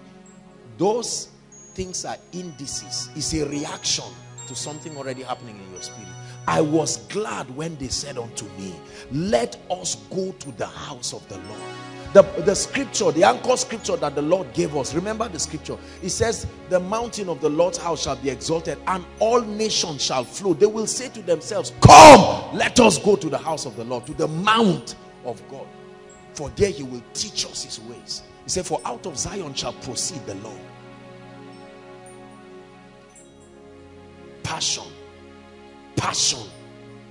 There are people you see them January koinonia and then later on, maybe when result is out or something, it just coincides with a miracle service. They now drag themselves and come and sit outside. And of all the prophecies that are coming, they are just waiting for when they'll talk about academics The moment they say, for your academics, they, now, they are now invited. Immediately they finish, they run. That game you are playing with God, you will not win. Praise the Lord. I love you, Jesus. I worship and adore you. Just want to tell you that I love you more than anything. Any ministry that is truly committed in soul winning will not be small. What we are doing in the church is sheep stealing. What did I call it? Sheep stealing. When you steal a sheep, a sheep is not a fool, it grew somewhere. Eventually, ah, you see, I am the good shepherd. My sheep here know my voice. And we, we steal sheep. We are, we are trying to steal choices, quality. So if Sam, please stand up, Sam. If Sam is a millionaire, I want that kind of sheep around because I know the relevance of the sheep to that pasture or that place, that attitude. Every time we see unbelievers, you see somebody with his draggy jeans, you know this guy, you even need to support him back. We don't like those kind of souls. The person calls you daddy, say, Who is your I'm not your father, I don't know you. I just got you born again. Please look for somebody else. These are the kinds say, ah, this is my son. You are, I'm well pleased. That carnal attitude. Are you getting what I'm saying? So when if that's why I say it to the glory of God, and you know here, I know no man after the flesh. I will not go to anybody's house and say, um, You are a senator, uh, your daughter is a member in our ministry. We, we have, we, we want to buy boss. God will use people. There is nobody that I will reject on grounds of anything. Whether your father is a carpenter or a pilot, it doesn't matter. Hallelujah. We don't love the sheep and they know they know they know the type of sheep we love. When you see a beautiful lady, say you are you are my daughter. Daughter, how are you? And you keep stressing that lady even when she leaves your ministry. She's wondering, what do you like? Me or the beauty? See, members are not idiots. They know pastors who are serious. They know. They know pastors who are playing games. You just gather phone numbers of very pretty ladies. These are this is what we do that destroy us. Are we together now? Or we gather the number of people who are rich and all of that. And oh no, there is a place for honor. Don't get me wrong. What I'm saying, this thing we are doing is too much. It's sheep stealing. How many of us are willing to labor on sinners until they become true saints? The Bible says the kingdom of God is like a, a remember the story of a shepherd, right? 99 sheep. One got missing. What did he do to the 99? They were all right. So he left them and went, still not minding if he loses the 99. Went to look for that one. Is that our attitude? When somebody comes to stand, you are looking whether he's holding an envelope. If it's not, you look at his shoe, look at his watch and say, let's pray. Father, help this person. And you are praying. Don't waste my time here. But when somebody comes, package, you are like, what are they? What? Let me let me know the needs. If you're a pastor here, please do this thing truly. God is going to judge us, not in a condemning way. We are going to be accountable for this. Act as if there is an authority above you. Members know. Let me tell you, there is no member who will see a man of God talking like I'm talking, who will not love him and be open to him. Do you know why many of our members in different churches, I'm speaking apostolically, there are many people listening. Do you know why many members, they know their pastors don't like them? They know it. They can't truly call this person my pastor, my father, somebody I can come and talk to because they know that the pastors want money, they want what will make them proud. By God's grace, we don't destroy our wounded soldiers here. No matter what you have done, we enter the hole with you and come out together a good shepherd doesn't stand on his sheep and leaves a trophy. He lays down his life for his sheep. Passion for the house of God. Number five, quickly. Passion for the word. Indices that measure a revival in a place. Passion for the word. Passion for prayer. passion for a life of worship. You can know whether a territory is under the influence of the spirit of revival by how much people hunger for the word. Jordan Bookstore is there. He will tell you. I know that people love the word in this place. I'm even careful to announce certain books because you announce it by tomorrow. There are people who are already there getting books, studying, buying concordance. Truly, let me tell you, I'm shocked at people's low level of passion for the word of God. When I started out with God, sometimes he would come and see different kinds of Bibles. Our money was spent buying Bible, not just to look for Rhema. We didn't have the privilege to learn Greek and Hebrew, so you listen. We buy Bible on tape, bombard it, put it in your ears. I had one rechargeable then. All kinds of songs.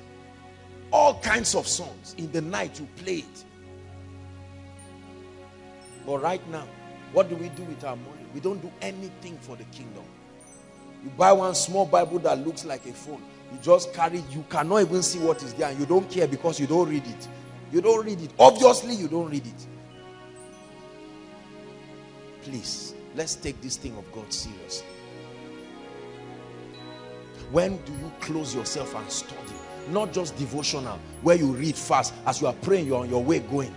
Oh, I see this, uh, God. And then scripture for reading.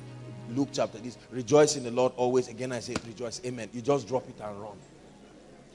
Ask the person what he's running towards. He will tell you he's looking for money or a meaningful life. And we have left the word of life. I found your word and I did eat them. And they were a joy and a rejoicing to my soul. Passion for the word. Passion for worship. Many of us don't worship.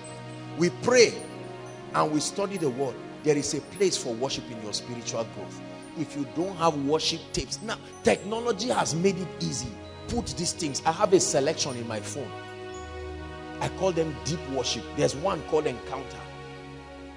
That one, when, when I'm high in the spirit, I just switch. Not all songs minister to me at the same level. I have studied what the anointing does and the songs that help them. Has it happened to you like that? Yeah. You put the songs. Don't just say Christian songs and then uh, uh, motivational songs. No, no, no. Separate this thing and take God seriously. You have a selection. The moment you just hear a Christian one, there is another one diluting your spirit and then midway after you enjoy it small just to satisfy the guilt you now quickly run to Don Moen don't please saints of God I admonish you in the name of Jesus Christ guard your heart with all diligence your destiny depends on it you will never find one on Christian song in my phone I'm not one of those people who say look we need to work with technology I'm not a fool Technology has failed us. Many things, governments have failed us. It's obvious they are ignorant. We used to say it before, but there was no room to expose it. Right now, it's clear that the government of nations are clueless. Come to the kingdom and learn the ways of God. The years to come will show the excellency of the wisdom of the Spirit. We are like the virgins that are taking extra oil now. A time will come when those who had that oil, they will not have anything again. Satan does not give anything free. Have you not learned?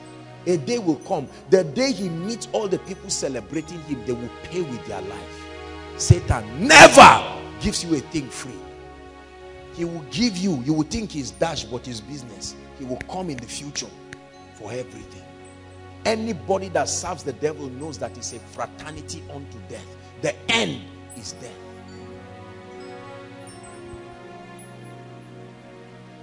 Create an atmosphere of worship. Create an atmosphere of the word. Get bible. I have i have a, a very beautiful software that i got. Just the words of jesus. They just pick them through the gospels. Just everywhere jesus spoke just the words of jesus. Oh, Always beautiful. With worship playing in the background like this i tell you you will wash your spirit you know how you when you listen you will know you are getting clean through the word the word cleanses cleanses your mind sometimes i sleep and let it keep playing and I have visions and encounters. You wake up shaking under the presence of God. You create an atmosphere that cannot be denied. This is how it happens. What if I have roommates that are not serious? That's why you have a phone. You cry to God for a good phone. He gave it to you. Use it well. Use it well. Not just for sending text messages. Use it well. How much does it take to download? I mean, there are Android devices with one, two thousand naira. Don't say I cannot afford it. Your hair, your shoulder, your knees, your toes. Look at all you have used your money that God gave you for building your spirit to just build your body alone. Remember, your spirit is better than your body. Invest in it first. Number, let's hurry up, we're almost done. When there is a true revival in a place, there is an outburst of financial miracles and sociological advancement. Listen, revival affects the quality of the living of the people within there. Don't think when you subscribe to the things of God and a revival comes, um, it means that other areas of your life will suffer. No, when there is a real revival, the quality of the life of God's people is improved. Almost every major technological advancement is connected to a revival. It's just that the historians remove the God factor out and make it look like somebody just discovered something. A lot of the people who made strange discoveries, they did them coinciding with periods of revival. And most of those people were either Christians or came from Christian families. When the spirit of revival is upon you, you will be rich. You will be blessed because the presence of God will compel favor upon your life. When a ministry is under that kind of open heavens, they will enjoy supplies. People will do well. People will get jobs. There will be marriages. There will be blessings. There will be children. There will be all kinds of breakthroughs. Don't make it look as if when you seek God, you'll be in trouble. No. Seek ye first the kingdom of God. Matthew 6 33 tells us. He said, and his righteousness. If you do that properly, he says, all other things shall be added to you as well. Amen. Seven, when there is the true spirit of revival in a place, there is an outburst of miracles, signs, and wonders. Oh, this is very important. There's gonna be a great awakening. There's gonna be a great revival in our land. There's gonna be a great awakening. And everyone who calls on Jesus, they Miracles. I believe in miracles. Believe me, I believe in signs and wonders. I believe in miracles. I believe the sick can be healed. I believe God can step into people's lives and change their stories. We've seen all kinds of testimonies in this place. That's what is going to happen to many of you this night. Koinonia remains a place of healing, a place of miracles. Because of people's inability to contend for the true healing power. They say, look, um, um, healing. When they say healing, they are quick. You say, no, no, no. Emotional healing. Please. Physical healing. People are sick. Their bodies are sick. Are we together now? Yes, there's a place for emotional healing. But we usually say those things because there's no physical index to prove whether they are healed or not. If somebody is blind and is healed, he is healed. Is that not true? We must contend for grace even in this dimension. Say amen. And may it happen through your hands. There is a joy when God uses you. There is a joy when God does things around you. But when it happens through your hands, it's a blessing. I trust that God will use us to begin to lay hands on the sick and speak to people. That they note you and say, ah, I, I came to Amaka and she prayed with me and doors just opened. Great testimony. Ella agreed with me. She prophesied something over my life. Oh, I met Aaron crying on something and he spoke over my life. Some of us are so backward in the area of the miraculous. Even if somebody said you prayed with me and something happened, say no, because you came for koinonia. You must believe God in your life. Hallelujah. Miracles, signs, and wonders. Any pastor in this day and age who is not serious about the miraculous should be prepared for empty pews. I guarantee you. Any pastor who is not ready for the demonstration of the miraculous, people are not looking, if they are looking for where to watch film, there's Silverbird, there are many, there's cinema and all kinds of places. People don't come to church to watch movies. They come to church because they have real problems. Is that not true? They need the power of God head on in their lives. Lastly, the final index that shows that an atmosphere is under the influence of revival is impartation of gifts, graces, and mantles. Impartations. See, revivals are times where God recruits people into his army. Most people stepped into the call of God upon their life at revivals. When people are just praying non-stop for a while, the Holy Ghost separate me, Paul and Barnabas. There has to be release of mantles, graces, impartations. It happens during revivals. There will be almost no impartations when revival is not in place. Remember a man in the Bible called Agabus. He had daughters and all of them were prophets. There are few people who have carried those kinds of mantles that can come from father to children. God knows my children. God knows. Before they arrive, there will be a special recording waiting for them. As soon as they arrive, straight on. Before the nonsense that society brings, this and that, you are stupid, you are foolish. No, they will receive something they will start having visions and encounters of Jesus. That's why I respect and I want us to appreciate them. I respect every parent in this place who come with their babies and their children. Let them sleep and sleep in the presence of God. It was in the presence of God Samuel was sleeping when he heard the voice of God. Even if you must sleep, do it in the presence of God. Because although your body is sleeping, your spirit is receiving. Impartations of mantles and graces. That's what is happening to some of you. Some of you in the nearest future, God will send you to territories and you'll be the ones doing this thing I'm doing right now. When you stand, one day you will just stop in the middle of the congregation and tears will come down. And you will tell them, once upon a time I sat down quietly. I remember when I used to go for meetings and sit down and I hear the man of God say, out of this place, God will raise great men. And people are shouting amen. Some are sleeping, some are playing, some are not serious. And I just sit down there I say, really? I could imagine the angels and all these people saying, young man, pay attention.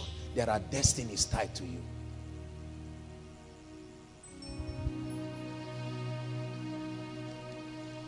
Very quickly, what is the price? What is the requirement for revival? And we're going to pray. I'll just give you four of them quickly and then we're done. Sorry, I may not have time to read the scriptures. Is God blessing you tonight? The first price requirement for true revival, not assumed revival, true revival is consecration. The first prize, you want to host the glory of God, the first requirement is consecration. Media help us with one scripture that I found very interesting. Isaiah 52 verse 11. I'll, I'll just read the other ones while they pull up that one for us. Second Timothy 2 verse 19 to 21 says, Nevertheless, the foundation of the Lord standeth sure.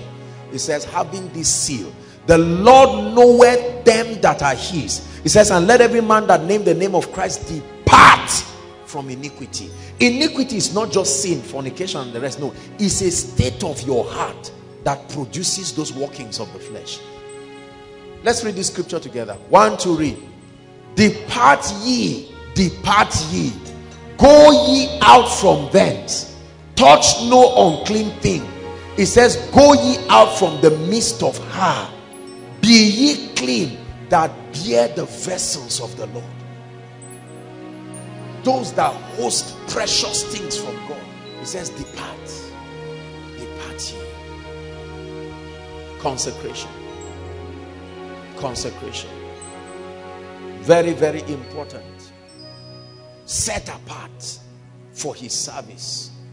Set apart. The bible says there is no man who warreth and tangles himself. We want to be civilians and soldiers at the same time. It doesn't happen. No.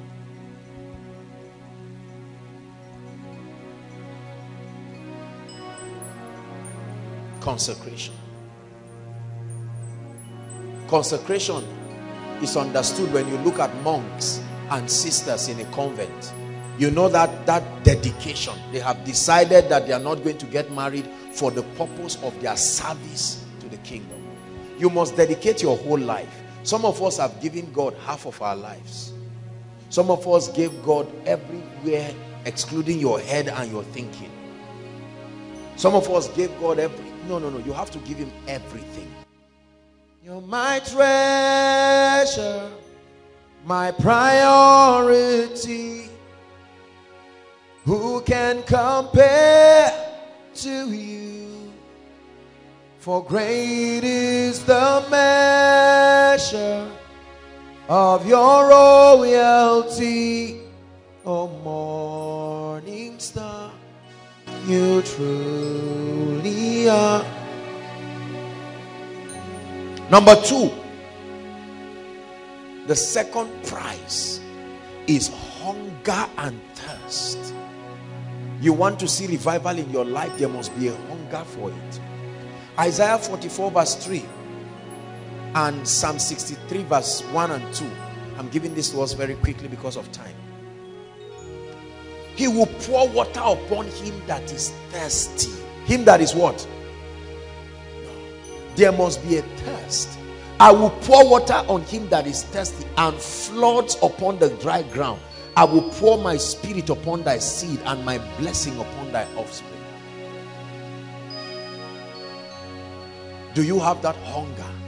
I'm telling you, I have an insatiable hunger to see revival in my life. I want to see the revival power of God in my life. That everywhere I go to regions to minister, I leave a deposit of the spirit of revival in that place. Hunger and thirst. Psalm 63 verse 1 and 2. He says, Oh Lord, you are my God. Early will I seek you. Say, My soul pants after you. Right? In a dry and thirsty land where there is no water. To see your power and your glory as I have seen in the sanctuary. Do you have that hunger and thirst to see revival in your life? It was men like John Knox that prayed and said, Lord, give me Scotland or I die. We quote it and have no passion at all. Number three, the price for revival prolonged seasons of intense prayer with fasting prolonged seasons you don't pray for one week and see revival there are women who prayed for their children for 20 years non-stop before the fire of God fell on them prolonged seasons that's why it's important to be consistent in your prayer life and please, I talk to everybody here, inside and outside. If your prayer life has nosedived, we welcome you to join the prayer department on Tuesdays. Even if it is for one week, there is fire burning in that place, I tell you. Join and refire yourself. Prolonged seasons of intense prayer with fastings. Listen, Fasting is a powerful spiritual principle. You don't do it out of religion or out of fear. However, it, it energizes your spirit and promotes you to have faith in God. Really, unbelief is what it challenges. So that the conviction about the reality of God is crystallized in your heart. Acts chapter 2 verse 1 to 4. It was while they were in the upper room praying that the Holy Ghost fell. Acts 13 verse 2. It was while they worshipped and prayed and ministered unto the Lord with fasting. The Bible spoke, I mean God spoke to them and said, separate unto me Paul and Barnabas. Number four, the price for the word of God. Intense study of the word. With a view to living by it not just for head knowledge not like the people the bible says ever learning but never coming to the knowledge of the truth intense study of the word of god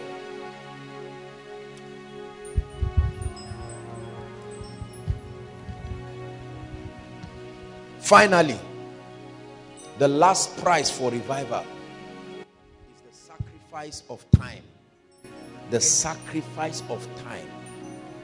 You want to see God's might in your life, you must give him time. I don't mind waiting. I don't mind waiting. I don't mind waiting on you, Lord. I don't mind waiting. I don't mind waiting. I don't mind waiting on you. You're not going to rush God and see his glory. The proof of passion is the investment of time. Anything you love, you have time for it. Please give God time. Remember I told us last week, you must give God time. Give God one hour. Don't give God two hours. There are times where you have to dedicate a whole day and just say, Lord, this is for you. A time of worship and prayer. Let his presence host you. That day, you are dedicating it just for watching movies that will build your life, Bible stories, watching messages, listening to teachings, worship, prayer. You mustn't even be fasting. You can just focus. This day is unto you. Imagine if someone walked up to you and said, I'm dedicating my tomorrow for you. No matter how antisocial you are, even if you say no, thank you, you will be happy that somebody can sacrifice his day. When you come to somebody and he tells you, look, I don't have time, I'm busy. Sometimes you feel bad. You feel, ah, this person doesn't value me so much. That's what happens when we come to God and just worship. God, are you aware that I have problems? Okay, I'm aware. Do something about them. I'm on my way.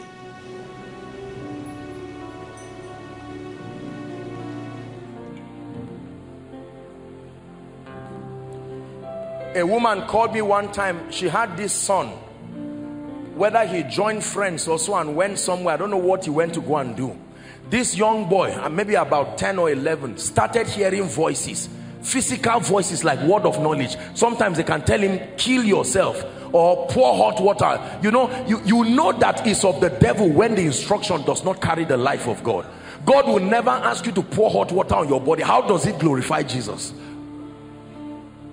The testimony of jesus is the spirit of prophecy. And this boy continued to do all these kinds of things. And i told her i said mama thank god you brought this boy. This boy would die for nothing one day hell is rearming itself to make sure there is an onslaught an assault against the body of christ. And many times we're just crossing our legs. Listen i need you to know i've taught you about warfare. We teach warfare correctly. We are not people who fight from a standpoint of foolishness. We are standing from a standpoint of victory. But that establishment you must do it. Otherwise victory will not be automatic Hebrews chapter 2 it says but we do not yet see all things under his feet. Please let me say this respectfully. Be careful who you listen to and be careful the content of the spiritual information you are giving. Just because people are sincere may not mean their communications are balanced and accurate. Listen to what i'm telling you. Many people have become casualties of imbalanced spiritual communications jesus told us everywhere in his crusade demons came. They were not afraid of Jesus's own crusade. Demons they followed people. They didn't wait outside and enter later on. They came. Imagine jesus in a crusade. Praise the lord. The people shouted hallelujah and the demons were still in them. And they did not go. When the word is not engaged it does not have any power to do anything a spirit can sit down. The same way some of you are sitting quietly now as sincere and innocent as you are in the next few minutes you will be surprised what will be happening in your own life. And then you will see doors that have been closed opening like this. Then you will know that these doors were not closed by mistake and will not be opened by mistake.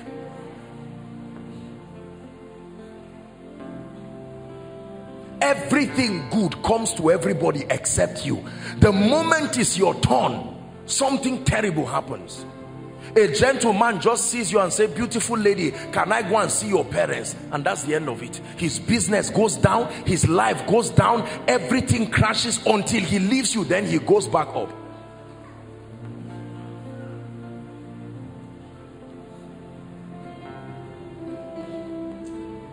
Do you believe what I'm teaching you?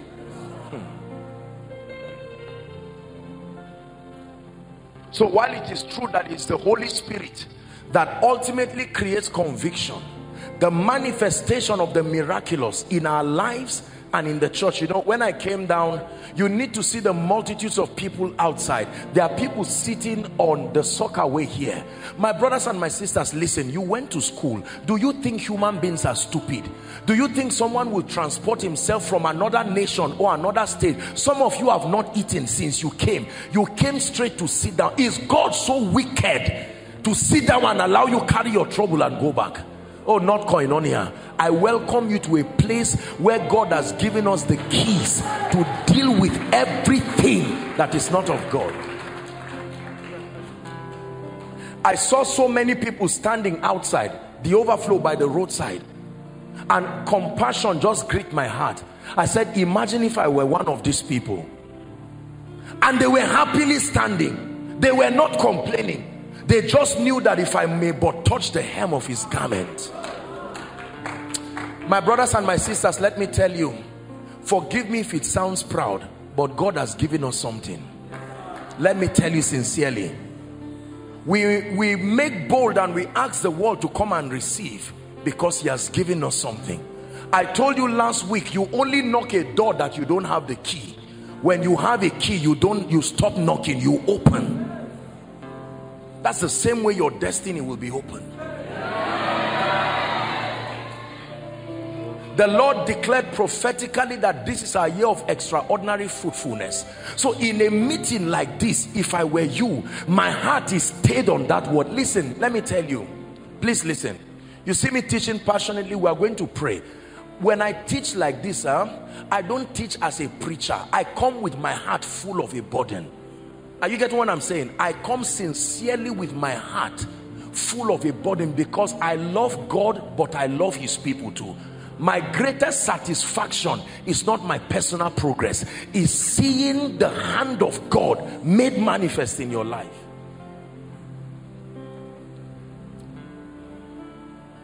When instructions are given, when these spiritual things are given, you must open your heart to believe them. You see the, the gospel works with the simplicity of childlike faith. Sometimes many of us carry this trado-african pride and that's what stops us from receiving.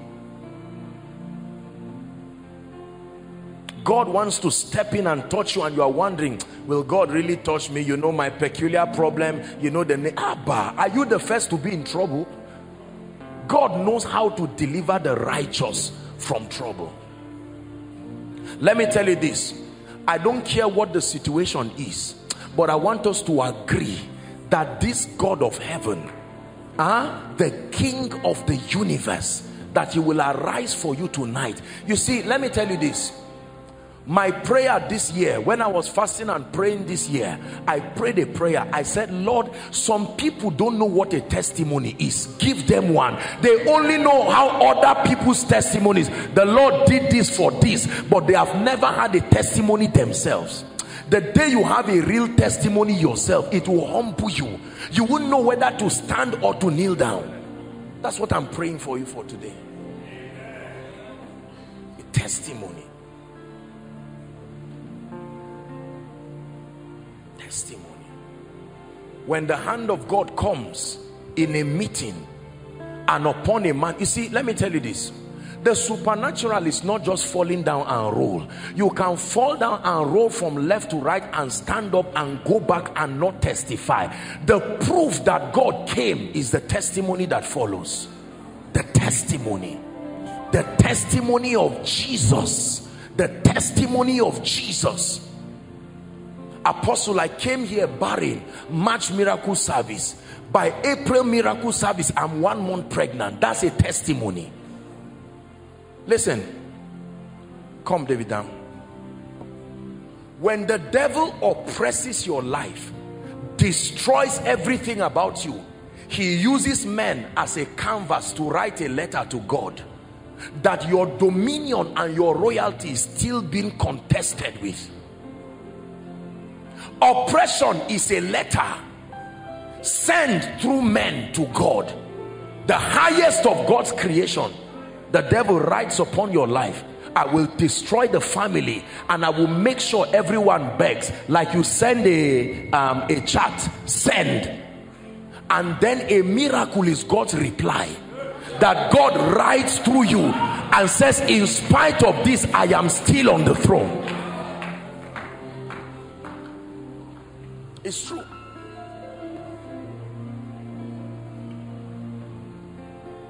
I believe in miracles. I honestly and truthfully believe in miracles. I believe in principles. I believe in mysteries but I believe in divine intervention. My brothers and my sisters God can shorten a man's journey. What that is the excellency of his mercy? Listen God is a God of process I agree. Listen carefully. God is a God of principles I agree. He will not excuse laziness and he will not excuse spiritual laxity. But let me tell you when blind Bartimaeus said thou son of David have mercy on me the mercy of God can shorten the journey of a man. If you get born again at age 40 do you know how long it takes to know God genuinely know God? You don't read your Bible in two months and know God but there's something the Spirit of God can do and give you a solid encounter that in six months you have caught up with the spiritual level of more than five years. How about restoration? Your parents started building from 1999 till today it has stopped at lintel level. Right there you went to school and said i'm going to pay it and finish everything. The day you said you pay it you almost died.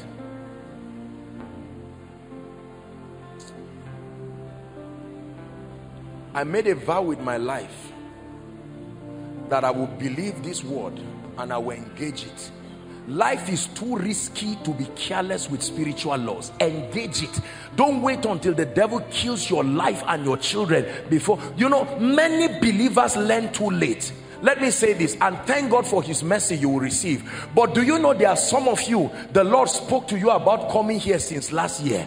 You've been arguing and giving reasons and excuses. Your situation would not have been that bad but thank God because although Lazarus was three days dead Jesus is still the resurrection and the life not only the healer. When I prayed I told the Lord I said please Lord give people a testimony real testimonies. I was blind. Now I see God did something in three weeks to my finances. Everybody see what God can do. God transformed my family. God turned me around and did something for me. I don't doubt your love for God but there must be proofs of that love. There must be proofs of that love. Somebody shout Lord give me an evidence. Say Lord give me an evidence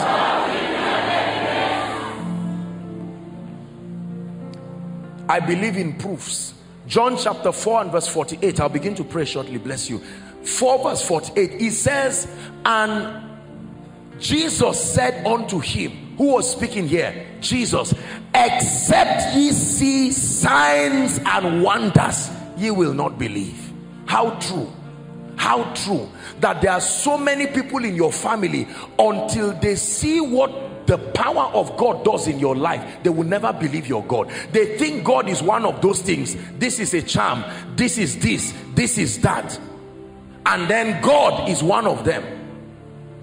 But the day like Dagon all those gods fall before the almighty God and you return back with a solid evidence. Let me tell you that day like Pharaoh your loved ones will confess that this your God is God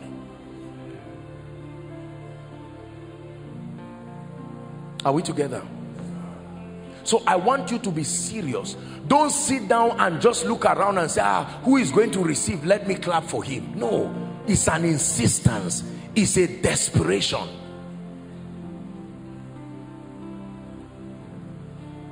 except ye see miraculous signs you shall not believe luke chapter 5 we'll read the first 11 verses that miracles can help to create solid convictions. Charles and Frances hunter powerful evangelists they've gone to be with the lord now. They wrote a book that a miracle is worth a thousand words. I believe them. I believe them. The world is tired of our noise and our stories they want to see a demonstration and a manifestation of the reality of the life and the power of God. It says, and it came to pass as the people pressed upon him to hear the word of God, he stood by the lake of Gennesaret. Next verse, please and saw two ships standing by the lake but the fishermen were gone out of them and were washing their nets. Uh-huh. We're reading to 11 and he entered into one of the ships which was simon's and prayed him that he would thrust out a little from the land. And he sat down and taught the people out of the ship. Next verse. Now when he had left speaking he said unto simon launch out into the deep and let your nets for a drought. Five what happened? Simon answering said master we have toiled all night. In other words he said lord look you are not the first to pray for me. A man of god prayed for me in zaria. Another man prayed in wherever. You know so god is one of those things. You bless me. Oh yeah do it. Master we have toiled all night not for a few hours all night. Night vigil looking for a fish and did not catch even one. It says nevertheless at thy word i will let down the net. Six. And when they had this done they enclosed a great multitude of fishes and their seven. And they beckoned unto their partners which were in the other ship that they should come and help them. And they came and filled both ships. Miracles can create relationships. That you get a miracle and partners that were minding their business you can say come and join me. Who will not follow someone with results? Who will not let me tell you the bible talks about a wealthy man. Um how did he put it now? A poor man that we even with much entreaties they will run away from him there are many people that come from where we come from and will pass us as if they don't know us because you represent shame and anything that looks like Ichabod, the departure of the glory, men will usually find a way to excuse it from.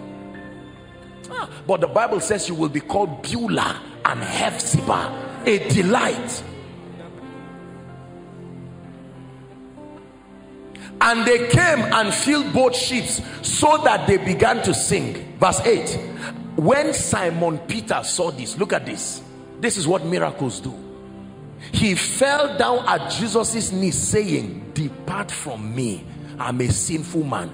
Was a sermon preached?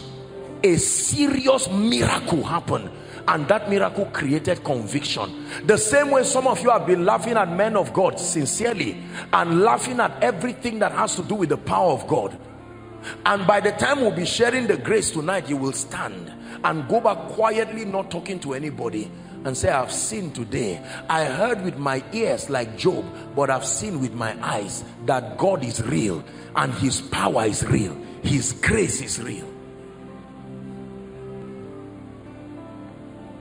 Nine. For he was this is what led to the repentance. He was so men can be astonished to repentance. That they look at your life and say promise when did this happen? When did God lift you? Was it not last year? Together we were discussing. And you tell him there is a name God is called though, the lifter of men. The lifter of men. Let me tell you my brothers and my sisters run away from anybody who tell you results don't matter. They do. They do out of the abundance of the evidence of the workings of God in your life the nations will bow to your God. They will never bow to you just because you are talking. Man of God hear me. No results you have empty pews.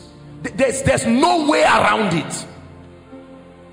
There must be an evidence a serious evidence. When John questioned the messiahship of Jesus. He didn't answer with a statement. He said go and tell John what you have seen.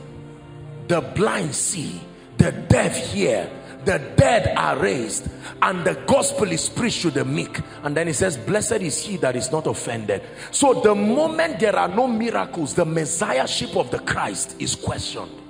John himself the one who ordained jesus said go and ask him is he the messiah miracles confirm that jesus is the messiah. God is not a herbalist. He's not a herbalist that is ahead of other herbalists. No. Wherefore God had so highly exalted him and given him a name. There are people who have names. Politicians have names. Businessmen have names. Captains of industry. Gatekeepers of mountains have names. But my brothers and my sisters there is a name it says there is no other name under heaven given to man by which we must be saved. And it's in that name tonight that we will wreak havoc in the kingdom of darkness.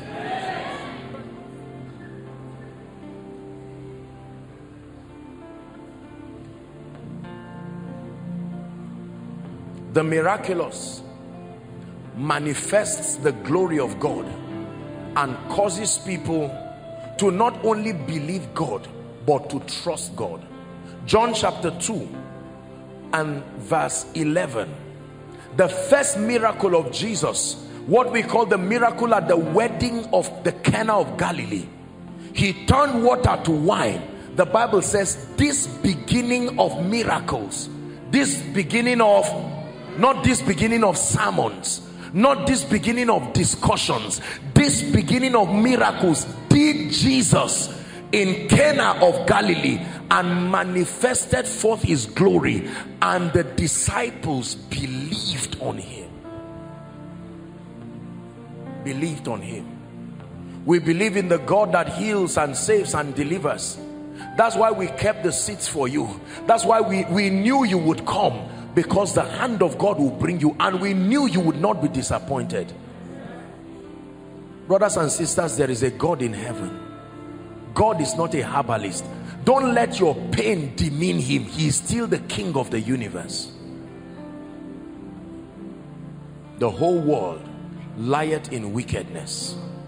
Acts chapter 10 and verse 38 how God anointed Jesus of Nazareth with the Holy Ghost and with power and he went about doing good.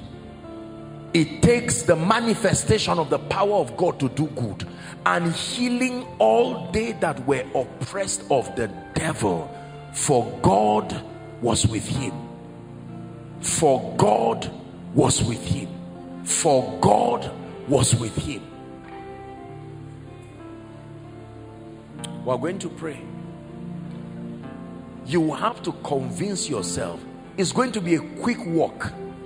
And we're going to cry to God and say Lord whatever I carried from my house whatever I carried from my place of work that I've brought before you it should not return back with me. It should be clear and evident that I met the Lord Jesus Christ. It should be clear and evident right where you are sitting you will soon stand up but right where you are sitting i'd like you to talk to the lord. Please be serious and be desperate. Lord i have come to you. I've come to you. I've come to you. I've come to you. My life must be changed my finances must be changed. My destiny must be changed. Lord i've come to you as a pastor. I've come to you as a prophet as an apostle. There has to be greater oil upon my life.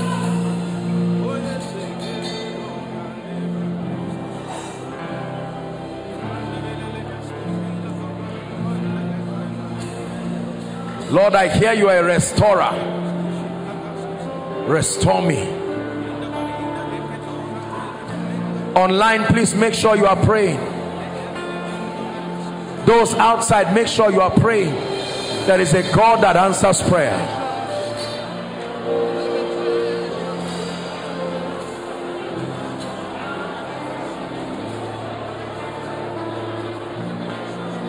When the Lord turned again the captivity of Zion it says we were like them that dream and our mouths were filled with laughter and said they among the hidden the lord had done great things for them. It says the lord had done great things for us whereof we are glad.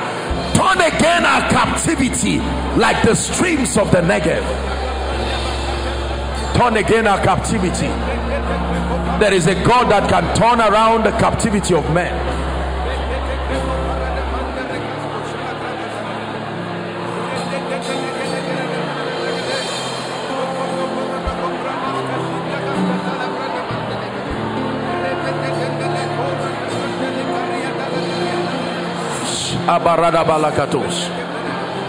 Pray. Doesn't matter where you are seated, doesn't matter where you are connecting from. The power of God is able to save to the uttermost.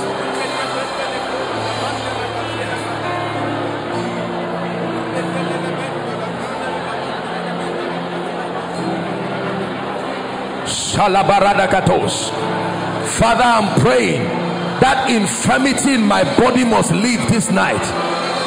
That financial situation must die this night. That oppression that has kept my family down. Did the bible not say this is a victory that overcometh the world even our faith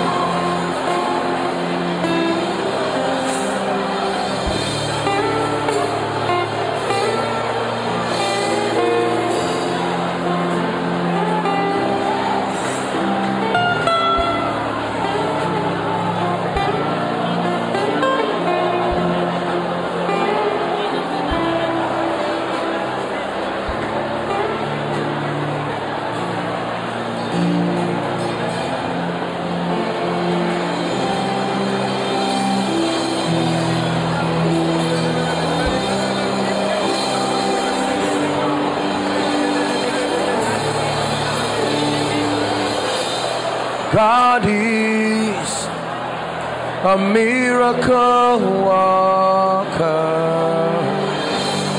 God is a glorious God. God is a miracle worker. God is a glorious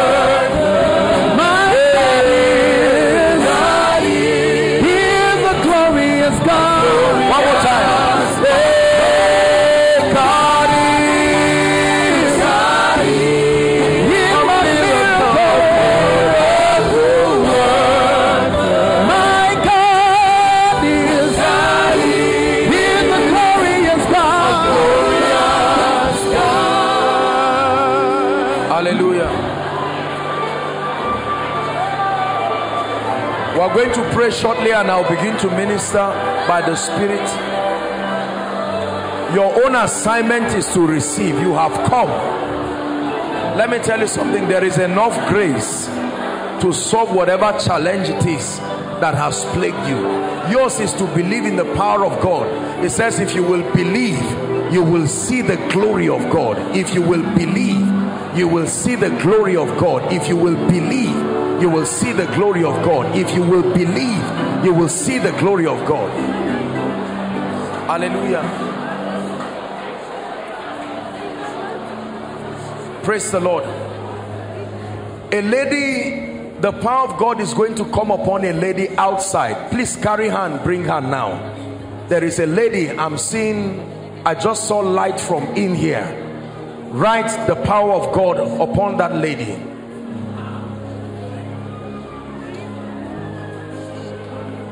Please bring her. Please bring her. And then bring, there's someone on this row. I'm seeing like like a smoke just going round. And it's like it's locating someone. The power of God is going to come on someone. Please pick the person and bring the person out. You reign. You reign. Elohim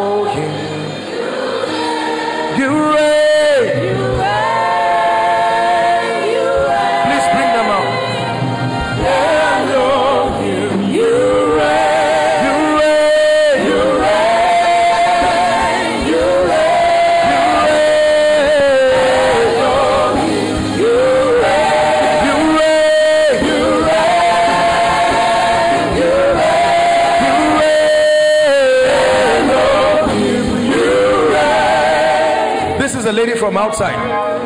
I crush the hand of captivity over your life in the name of Jesus Christ. I crush the hand of captivity over your family in the name of Jesus. I saw a lot of oppression over the life of this lady, and in the name of Jesus, we silence the voice of wickedness.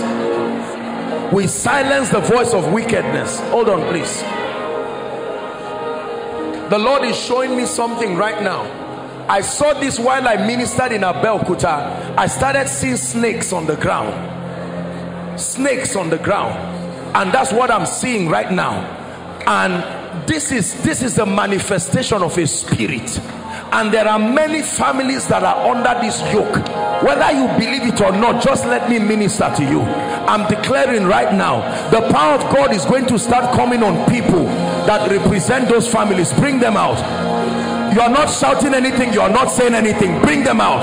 I'm speaking by the spirit. The word of god has been declared. There are families.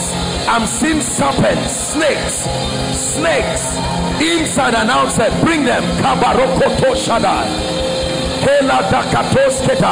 Even the lawful captives shall be delivered even the lawful captives shall be delivered and the captives of the mighty. By the fire of the Holy Spirit I judge those spirits wherever you are represented in anyone here represented in anyone here. I speak by the hand of God. You reign you reign. Bring them out I'm still on that case the power of God is still locating people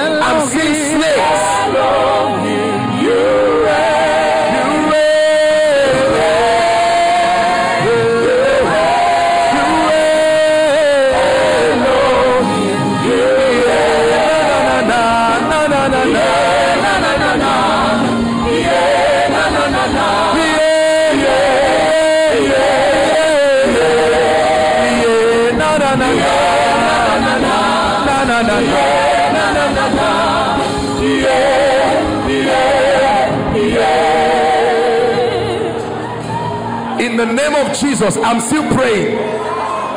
We're not doing too many things tonight. We're going to the root of many people's challenges. I'm saying it again. There are still spirits and I speak by the anointing of the spirit of God. Wherever they are overflow. One two three across the road. I'm declaring judgment judgment upon those spirits. The fire of God is coming upon you right now whether you are standing for yourself or for your family bring them out. There is no escape.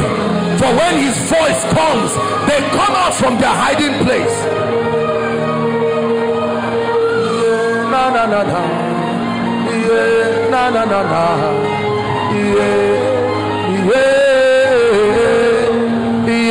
Na na na na. Na na na na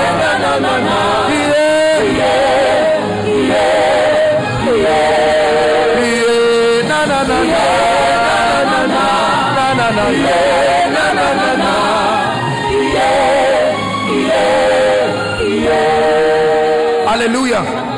Now listen, there are people I'm seeing something that looks like a knife being inserted in people. And I'm seeing people beginning to run. Just run. When you see people doing that hold them and bring them the Lord is bringing deliverance. That one is not speed. This one is not the prayer for speed. I'm just telling you as the Lord is showing me. Right now I decree and declare I don't know those that the Lord is cutting them free from every kind of diabolism but I stretch my hands by the spirit. I command judgment on every force judgment on every power in the name of Jesus Christ. The hand of God is coming upon them you will begin to see them run around. Just running is is is not a, a making of their own. It's by the power of the Holy Ghost. Bring them out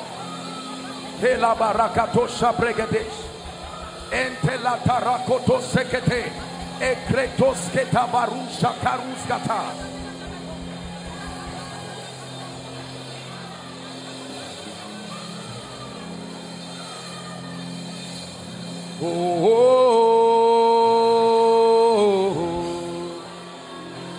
my help has come. Oh,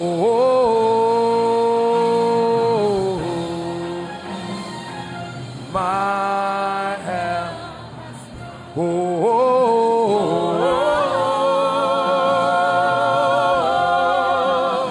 Kalabarakato Shebrahim.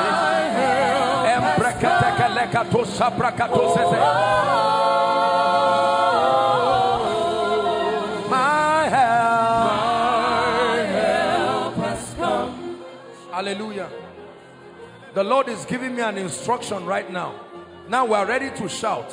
Listen. The Lord is opening my eyes and I'm seeing what looks like a grave. And the Lord is saying he's delivering families from the power of the grave. In the name of Jesus Christ. And at the count of three, any family, whether territorially or by whatever connection, is tied to the spirit of the grave. I'm declaring at the count of three, as you shout Jesus, the power of God is setting you free. One, two, three. The spirit of the grave, the spirit of the grave, the spirit of the grave, I curse you by the God of heaven. The spirit of the grave, I curse you by the God of heaven.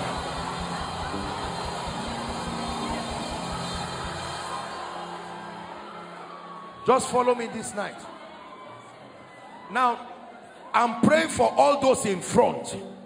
They came out because the Lord showed something. I declare by the power of God that the legal access of darkness over your life is broken and at the count of three I speak to these spirits release everything you have taken from these families. One two go go go. Out of their lives out of their destinies. Out of their lives out of their destinies. I command a release. I command a release I command a release. Release breakthroughs. Release open doors.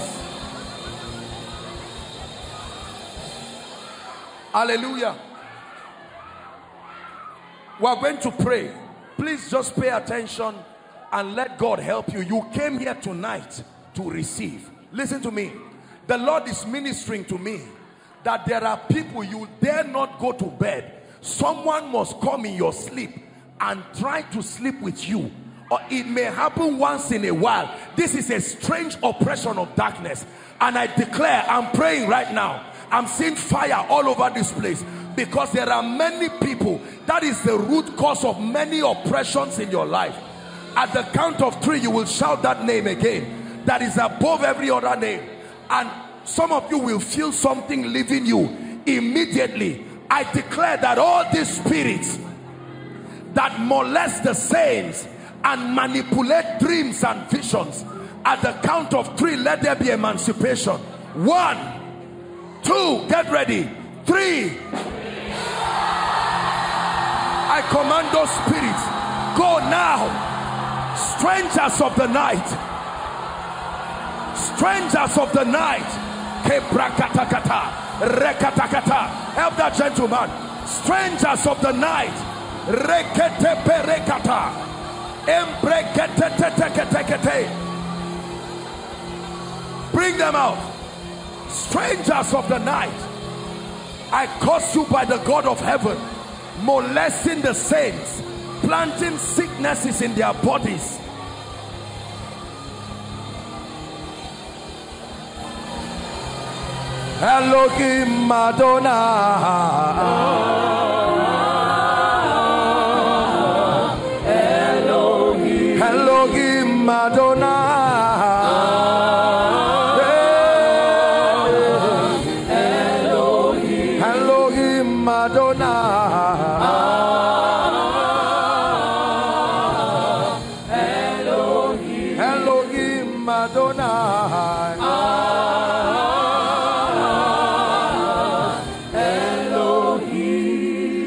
a certain family here I'm seeing that they tied the family to the covenant of a stone.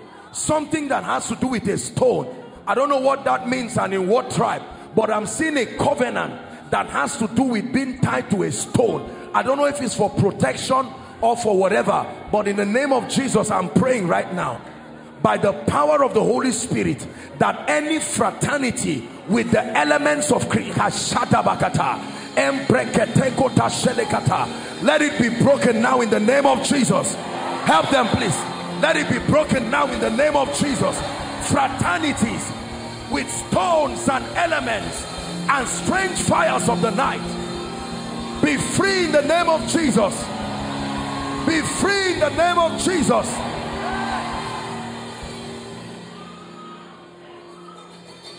Alabarato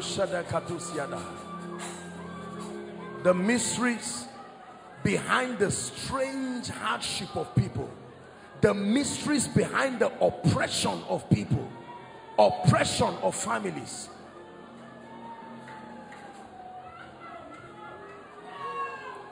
Doors doors are opening. That's what i'm seeing in the spirit. Doors doors. Some of you will feel fire on your hands.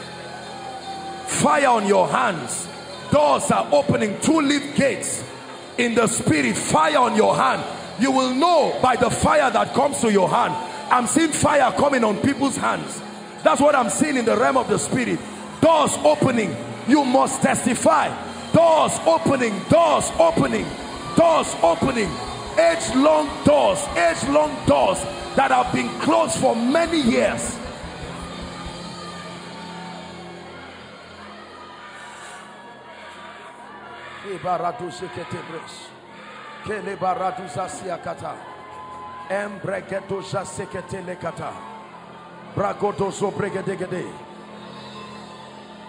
I'm seeing an angel of the Lord stand just at the back of this young man. Please shift, my friend. These four ladies, one, two, three, four. I'm seeing an anointing on you people. One, two, three, four. I don't know what it is that God is taking out, but I'm seeing like chains being taken from your feet chains being removed. In the name of Jesus I decree and declare I saw an angel stand there chains being taken up from your feet. In the name of Jesus Christ chains being taken from off your feet.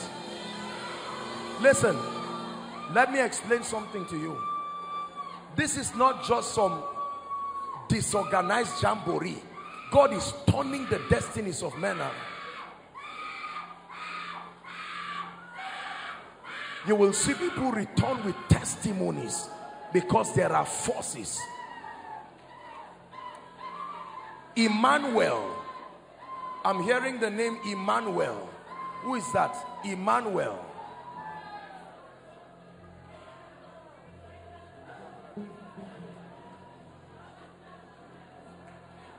please don't make the place rowdy Emmanuel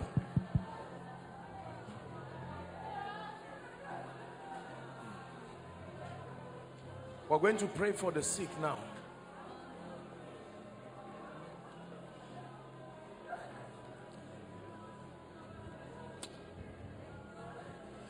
There are four of you I'm seeing here. You have the call of God upon your life, but there are strange altars that are holding you down. In the name of Jesus, I lose you now. I lose you by the force of the Spirit. I lose you. I release your ministry I lose you. I release your ministry. Hear me, I'm speaking by the Spirit. I lose you. I release your ministry. I stand by this apostolic anointing. I lose you. If I be called of God, I lose you. I lose you from these forces. I lose you from these yokes. In the name of Jesus Christ.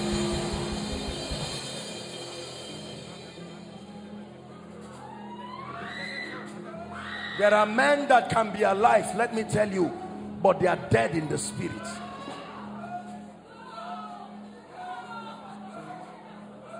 Emmanuel, I'm praying. We don't have time to minister individuals, individually, but I'm praying for you.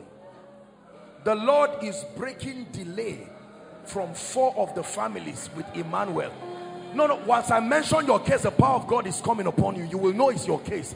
I stretch my hands now among the Emmanuels and the people delay, delay, delay. There is an anointing coming now. Is crushing that spirit. Just because I'm praying for Emmanuel does not mean it will not come upon you. In the name of Jesus, delay, delay. God is visiting delay. Broken by the Spirit of God.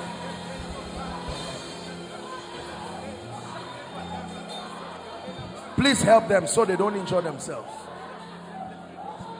He came to set the captives free. To set the captives free.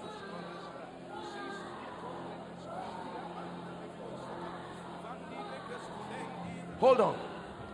This young lady, lift your hands. This, this, yes, you. Lift your hands. I'm stretching my hands towards you. I don't know what it is that I saw, but I saw something like smoke. The other one, the smaller one with white. Yes. I just saw something like smoke coming out of you. And the Lord is saying this is oppression for many years that has something to do with your abdominal region. In the name of Jesus Christ, I declare right now by the power of the Holy Spirit, let that oppression go. Let it leave you. Let it go. Let it leave you right now. In the name of Jesus. There is a woman. Now, I'm going to pray for people generally. But I don't know how we'll do this. There is a barren woman in overflow 3. Barren woman. Trusting God for the fruit of the womb. Please, if, if you can allow the woman to run and come. God is instructing me to lay my hands on her. Because it's time for her to carry her child. Overflow 3. Please let her run and come. Yabone nakao Sujata nakao Sirking salam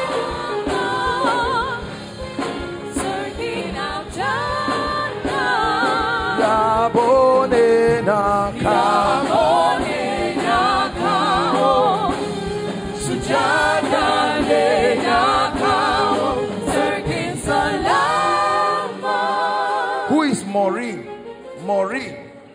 I'm hearing a name, Maureen.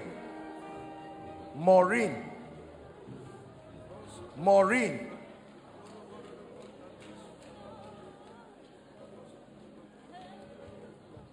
What is your name? Lift your hands. Where are you from? Shout Jesus loud as you can. Jesus! Let the power of witchcraft over your life be broken. My dear, look at me. Look at me. Shout Jesus. I crush that spirit right now in the name of Jesus. And the man you see in your dream, in the name of Jesus, may you never see that man again. Please make sure you they don't. Why is Mama here? Is she Maureen? This woman, I, I'll pray for you. That woman, come, madam. Is that your daughter? Come, madam. Where are you coming from, ma? Let her come. Sir? Where are you coming from? I'm from area C. Area I'm C. No, I'm, I'm going to pray for you. Mama, you are a sincere woman. But if I did not pray for you, huh, it's a bike that will kill you from the market in an accident. This is what I'm seeing. I'm seeing this woman with a leather of potato and a bike man just comes to jam her together with a truck and they just say survive by that the woman is dead. I'm not a prophet of doom mama. Please don't be afraid. In the name of jesus christ hold my hands. I extend your life by the power of the holy spirit that the plague of death see let me prophesy upon someone here anyone here that the hand of death is upon you to see that you will not see the end of this year. I'm praying by the spirit now. I'm praying by the spirit and in the name of jesus anyone that the spirit of death is haunting anyone being haunted by the spirit of death i command that it is crushed now in jesus name.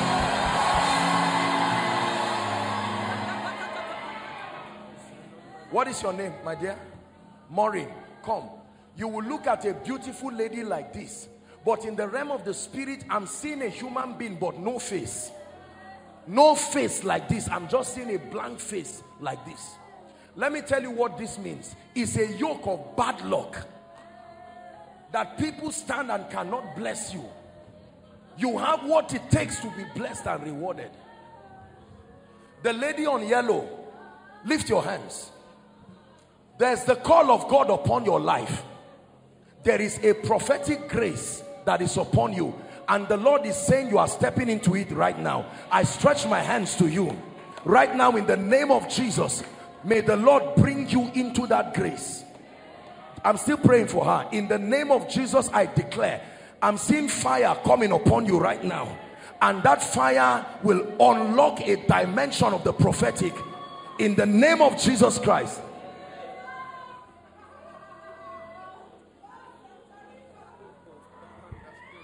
bad luck. Listen i'm going to hold her but a different person is the one that will receive before i pray for her. This is just allow me do my my mad thing. Hold my hand. In the name of jesus i'm not praying for her. I'm praying for someone now by the spirit of the lord. But the lord is saying i should hold her as i pray for the person. Lord in the name of jesus this yoke of bad luck i'm speaking now. Please help them this yoke of bad luck by the power of the Holy Spirit where good things don't seem to happen to you in the name of Jesus let it be broken now. Let it be broken now. Let it be broken now. Let it be broken now. Let it be broken now. Now let me pray for you. Be free by the anointing of the Holy Spirit. I take away this that I'm seeing and in the name of Jesus you have an identity in the spirit that brings honor that brings grace and dignity. In Jesus name I pray. Where are these ones? We're going to pray for the sick. Your name is Maureen. Are you married? You are married? Yes, sir. but you don't have a child? Yes, sir. from overflow 3 Yes, sir. where's your husband not here. It's not, but you're married. Yes, sir. Come and stand here and watch the God of wonders. I don't know you. Madam, from overflow 3. You are from overflow 3. You are trusting God for the fruit of the womb.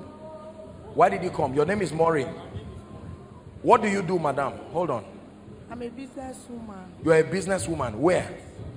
I used to sell at uh, young, um, Random Kano, but right now the business is scattered. Do you know why I'm asking you? No. I must pray for you. Because this thing is not only you. There is nobody doing well in your family. Your entire family. This is what I'm seeing. Is a spirit. Huh? except you open up something and miss. Even physical money used to get missing from you. You will keep money and count it and found find out that it's not what you kept. Is that true? If I'm lying just say I'm lying. Hmm. where are you from? From Enugu. Anambra State. I'm seeing the map of Nigeria and I'm seeing the state Anambra. I'm seeing deliverance coming for people from that state now. I'm seeing deliverance coming for people from that state. Anyone, usually when God shows me this, anybody who is from that state connected by blood, the power of God begins to come upon them to bring deliverance. It's a sign and a wonder. I'm declaring right now in the name of Jesus that anyone who is from that state and that region and there is any force and yoke that is fighting you be free right now in the name of Jesus be free in the name of Jesus be free in the name of Jesus Please help them. Be free in the name of Jesus. Anambra State, be free in the name of Jesus. I'm still seeing the map in my vision. Be free in the name of Jesus. My friend, that young man holding his hands, shout Jesus from where you are.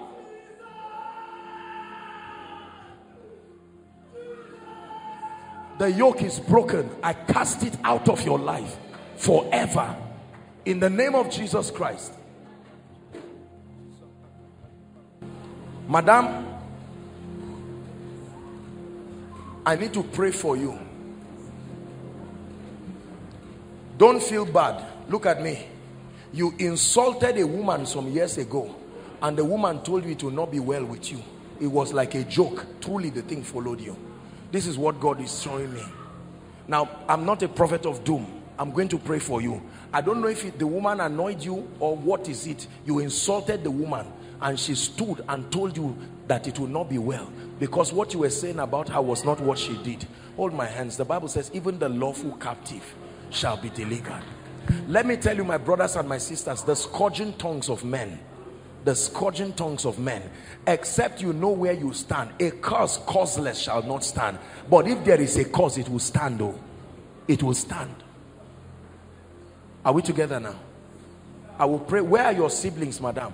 Hi, this woman. No, you are not here alone. Where are the rest? Call them. Just stand where you call. What is their name? Ejike Quickly, please. And Victor. Ejike, come. And and who?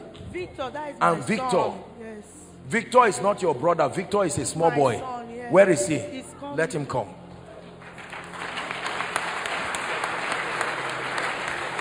Because I'm seeing the boy, you are saying Victor is a little boy. Ah, are you married? Yes. You have a son. Yes. Your son's name too is Victor. Yes, it's the one I'm. Is the boy that you are talking about? You said your brother. No, Ejike is my brother. Then Let the boy come. As young as that boy is too, if I don't pray for him, he will start stealing. Eh? There are two boys, small boys that will be delivered from this spirit. No matter where you keep anything, they must steal it. We are not condemning people. I hope you understand what I'm saying here. God is delivering people. To the pure, all things are pure. Nobody is calling any family a bad family. But this is a place where God is visiting people. Where is the person, please? Come, celebrate him as he comes.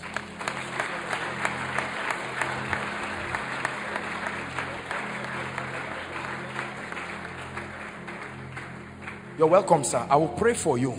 God is going to turn your family around. This is the little boy. My friend, how are you? Come. How old are you? 11 years old. You love Jesus? Yes, sir. I will pray for you. How can a nice boy like this and the next thing start picking things? Do you know? Let me tell you, these small children that steal are not thieves. It's just that either by carelessness or lack of discernment, it was not dealt with because most of what they steal, they don't need it. That's how you know it's a spirit. Are we together?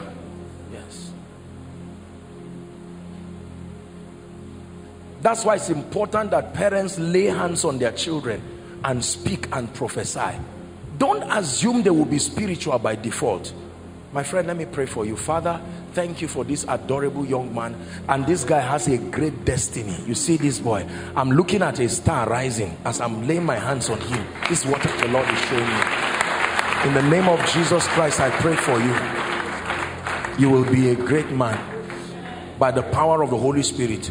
Hold this woman, the anointing of the Spirit is coming on her. In the name of Jesus Christ. Sir, what do you do? A medical sales representative. You are a Medical sales representative. medical Sales rep. representative. Can I pray for you? You are a sincere person, huh? but this thing, th- they are just forces that want to destroy your family. I will pray for you. Huh? April, May, June. It will look like you held a charm. The way God will turn your life around. You believe it? In the name of Jesus, may that grace come upon you. Madam, come. The power of God is coming upon you. In the name of Jesus Christ, I decree and declare this thing that I'm seeing tied to your waist, I lose it right now. By the power of the Holy Spirit, be set free now. in the name of Jesus Christ. You are the one trusting God for a child? Come. How long have you been married? Three years. Three years. No child. You too? Are you married? Five years. Four Five months. years, four months. Yes. No child. No child. Doctor said after two surgeries, they said my husband cannot impregnate me. He did surgery twice. Don't cry. Jesus is here. Huh? You went through two surgeries. Where is your husband? He's at home. He's at home. Don't cry. Where are you from? Where are you coming from? Graceland. You see, th- these are the things that sometimes worry my spirit. Imagine the kind of trouble that this family will go through. Sometimes we take some things for granted. Imagine the advices. Someone now will recommend and say, go to a herbalist. Go and do this and don't cry, my sister. Two surgeries you went through. My head. Now I'm seeing something being removed from your stomach. Look at what is happening to her. Yet she went through two surgeries.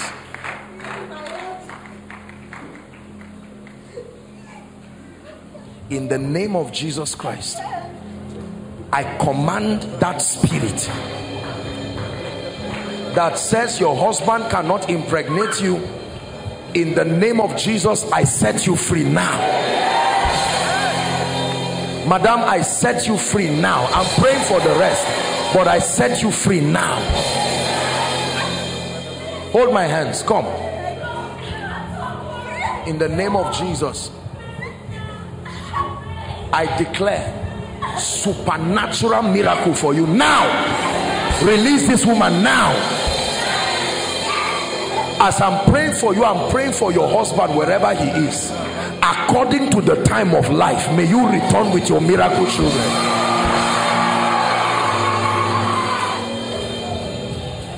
It's over. In the name of jesus christ the son of the living god. My dear let me why is this woman here you are married to madam no child how long Four years and five months. four years five months where are you coming from Jigawa State. from jigawa state please come oh dear Ọlọ́wọ́ is turning things around. Ọlọ́wọ́ is turning things around. Ọlọ́wọ́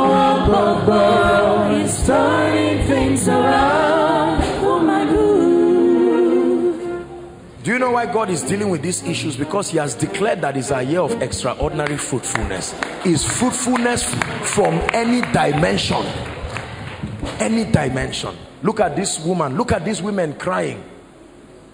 I may never understand what it means for a woman to not be able to take in. I think it's the equivalent of a man not be able to provide for his family that you come back home and watch your wife and children and they say that they were hungry and you are clueless about where bread will come from. My sister please don't cry. Who brought you here? You came alone? Sarah. Sarah. oh dear. Put your hand on your stomach. Is she a christian? She's she's a christian? Okay. It doesn't matter whether you are a muslim or christian the lord everybody the lord healed in the old testament he healed them and gave them an opportunity to hand their lives over. You just act like this just to show honor and respect people. I will pray for you. There is a name that is above every other name. And in the name of Jesus I lay my hands upon your womb and I declare the embargo of barrenness five years barrenness let it be broken right now look at this. Let it be broken right now. I'm seeing something being loose from your stomach. This is what I'm seeing. And then I'm seeing you coughing. You are now beginning to cough. This is what I'm seeing. I don't know what it is that I'm seeing but I'm seeing something come out of you and you are coughing coughing something out. In the name of Jesus Christ let it be gone now. Let it be gone forever. Let it be gone forever. Let it be gone forever. My dear put your hand on your stomach. What's your name blessing. Where's your husband? He's not here. he's not here. Father in the name of jesus i don't care what the medical report is. We agree as a family of faith that this our dear sister carries her miracle child now.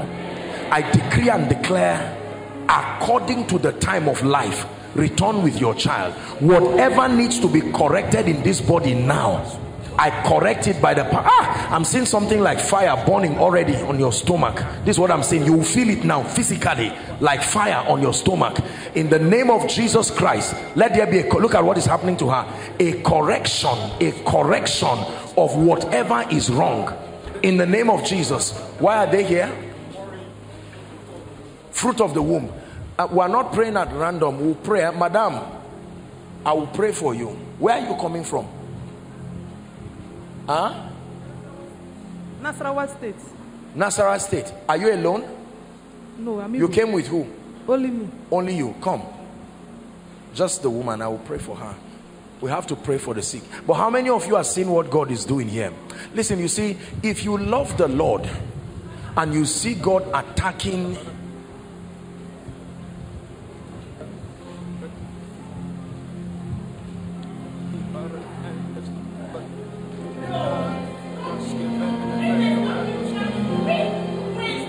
in the name of Jesus Christ the Lord just showed me something now. I'm seeing the head of a human being on top of something that looks like a shrine on fire. And the Lord is telling me that this is one of the mysteries behind the captivity of many people. I decree in the name of Jesus Christ Father whatever has had to do with blood that is responsible for the bewitchment and the plague that comes upon people. In the name of Jesus by the mercy of God let there be freedom now. Let there be freedom now.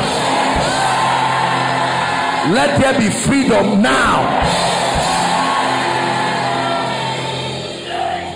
I'm seeing a family of one, two, three, four, five, six graduates. Nobody's employed. Six graduates. You are all graduates. Nobody has a job. Who is that person? Six graduates. Please listen to the instruction so that you don't just jump out. Six graduates, no job, not one person has a job. I want to pray for you. You're the one for the fruit of the womb. Huh? I have to pray for you. I'm seeing something in your stomach. Have you gone to the hospital? You've spoken with a doctor? Don't be embarrassed. I'm seeing something growing in your stomach and this is not a baby. I will pray for you because if I don't pray for you, you will have to go through serious surgery to even allow the baby stay based on what the Lord is showing me. And I'm going to pray for you. Where are you coming from, madam? Kano. Kano. Is your husband here? Is your husband here? Yes. Where is he? Husband, sir, please come. There's Daddy, something the. Lord wants to do in your family. Don't worry, he's, he's here, he's coming. Thank you, sir. Thank you for coming. God bless you. I want to pray for you. You came from Kano too? You came from Kano too, sir? I'm going to pray for you. Come out of you. Opportunity to hand their lives, opportunity to hand their lives over. You just act like this just to show honor and respect people. I will pray for you. There is a name that is above every other name. And in the name of Jesus, I lay my hands upon your womb and I declare the embargo of barrenness, five years barrenness, let it be broken right now. Look at this. Let it be broken right now. I'm seeing something being loose from your stomach. This is what I'm seeing. And then I'm seeing you coughing. You are now beginning to cough. This is what I'm seeing. I don't know what it is that I'm seeing, but I'm seeing something come out of you and you are coughing, coughing something out. In the name of Jesus Christ, let it be gone now. Let it be gone forever. Let it be gone forever. Let it be gone forever. My dear, put your hand on your stomach.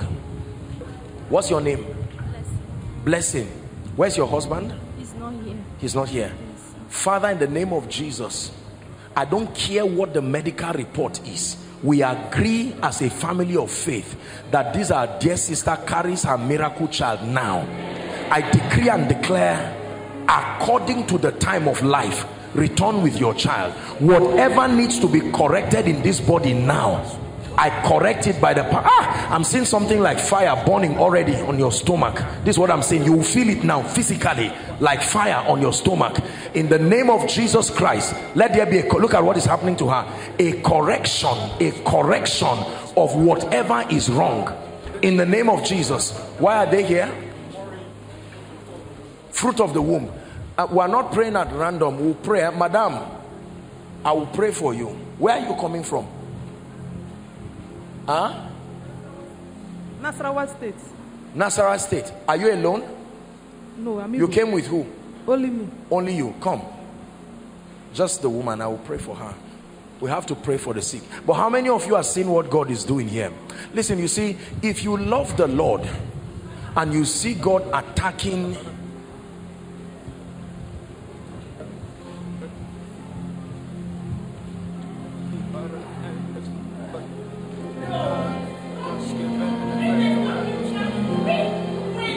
in the name of Jesus Christ the Lord just showed me something now. I'm seeing the head of a human being on top of something that looks like a shrine on fire. And the Lord is telling me that this is one of the mysteries behind the captivity of many people. I decree in the name of Jesus Christ Father whatever has had to do with blood that is responsible for the bewitchment and the plague that comes upon people in the name of Jesus by the mercy of God let there be freedom now let there be freedom now let there be freedom now I'm seeing a family of one, two, three, four, five, six graduates. Nobody's employed. Six graduates. You are all graduates. Nobody has a job. Who is that person? Six graduates. Please listen to the instruction so that you don't just jump out. Six graduates, no job, not one person has a job. I want to pray for you. You're the one for the fruit of the womb? Huh? I have to pray for you. I'm seeing something in your stomach. Have you gone to the hospital? You've spoken with a doctor? Don't be embarrassed. I'm seeing something growing in your stomach and this is not a baby. I will pray for you because if I don't pray for you, you will have to go through serious surgery to even allow the baby stay based on what the Lord is showing me. And I'm going to pray for you. Where are you coming from, madam? Kano. Kano. Is your husband here? Is your husband here? Yes. Where is he? Husband, sir, please come. There's something the. Lord wants to do in your family. Don't worry, he's, he's here, he's coming. Thank you, sir. Thank you for coming. God bless you. I want to pray for you. You came from Kano too? You came from Kano too, sir? I'm going to pray for you. Number one, God is going to give you the fruit of the womb. Number two, God is restoring your finances. You hear what I'm saying? Amen. God is restoring your finances. This is a serious issue. As you are here coming now, the financial trouble you are into is only God that can bring you out. Amen. Is that true? God is going to help you. Madam, put your hand on your stomach. In the name of Jesus Christ. Why are they here? Six graduates, no job. In the name of Jesus Christ. Father, by your mercy and by your grace, let there be a sign and a wonder in the life of this woman. Just keep her down. In the name of Jesus, I declare by the power of the Holy Spirit, everything that is wrong be corrected now. In the name of Jesus, sir, please can you hold my hands? In the name of Jesus, I speak over your finances. There is a grace that can restore, and I release that grace upon you. In the name of Jesus Christ. Madam, let me talk to you and then we'll pray for the sick. You are the, both of you, where are you coming from? You are here in Zaria Yes. and you are, yes, I know your face. Six graduates, no job, Yes, sir. including you. Yes, sir. Come. No. But there are six people, now. Yes. but there's no job for them. Yes, sir. Can we agree that God will give them a job? Yes, sir. And you too? Let's pray. Come, hold my hands. Father, in the name of Jesus Christ, there is an anointing that is coming upon you. Eh? And is for the sake of your family. In the name that is above all names I release this grace upon you and I pray let the embargo of joblessness be broken now. Even on both of you I use you as a point of contact to pray now. Something is leaving this lady's hand you. Something is leaving your hand. I curse that yoke now. In the name of Jesus your hand is a symbol of your productivity. And I declare in the name of Jesus let there be liberty liberty for all of you. Liberty I open the doors of jobs. In Jesus name I pray. Why is he here? You are a graduate. Six. From where please? From Abuja. Abuja. SOM, yes. you are a, a school of ministry student. Yes, School of Ministry student. madam let me talk to you. Where are you coming from? Nasarawa state. Are you married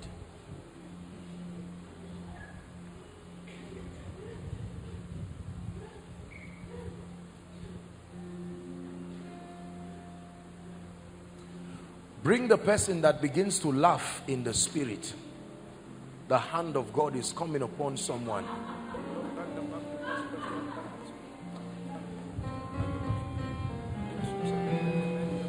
The Bible says the shouts of joy and victory will not depart from the tents of the righteous. Please bring the person. Let's save time.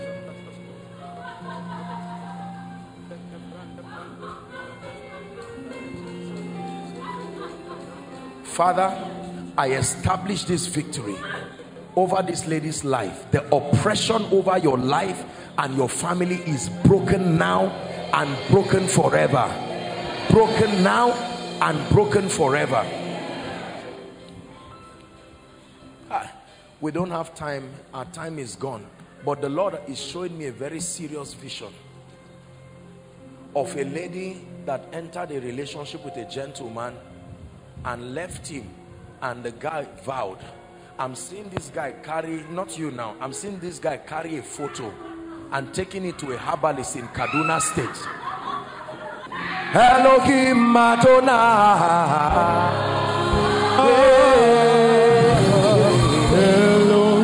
Elohim Madonna.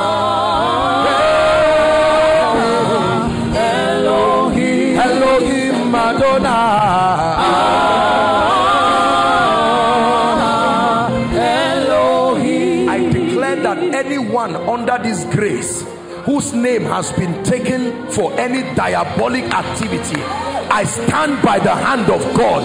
Whoever took it there judgment comes on them now. Whoever took it there judgment comes on them now. Whoever took it there judgment comes on them now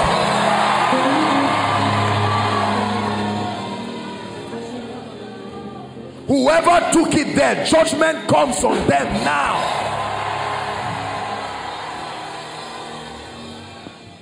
I'm still praying. Whoever took it there judgment comes on them now.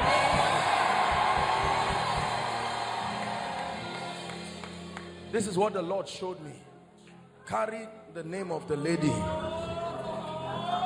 and kept it there that number one no decent man will ever come and ask her out. And number two she will never give birth. This is what i'm seeing. Who shall say a thing and it will come to pass? That when god has not declared it so i reverse every pronouncement over anyone here in the name of jesus.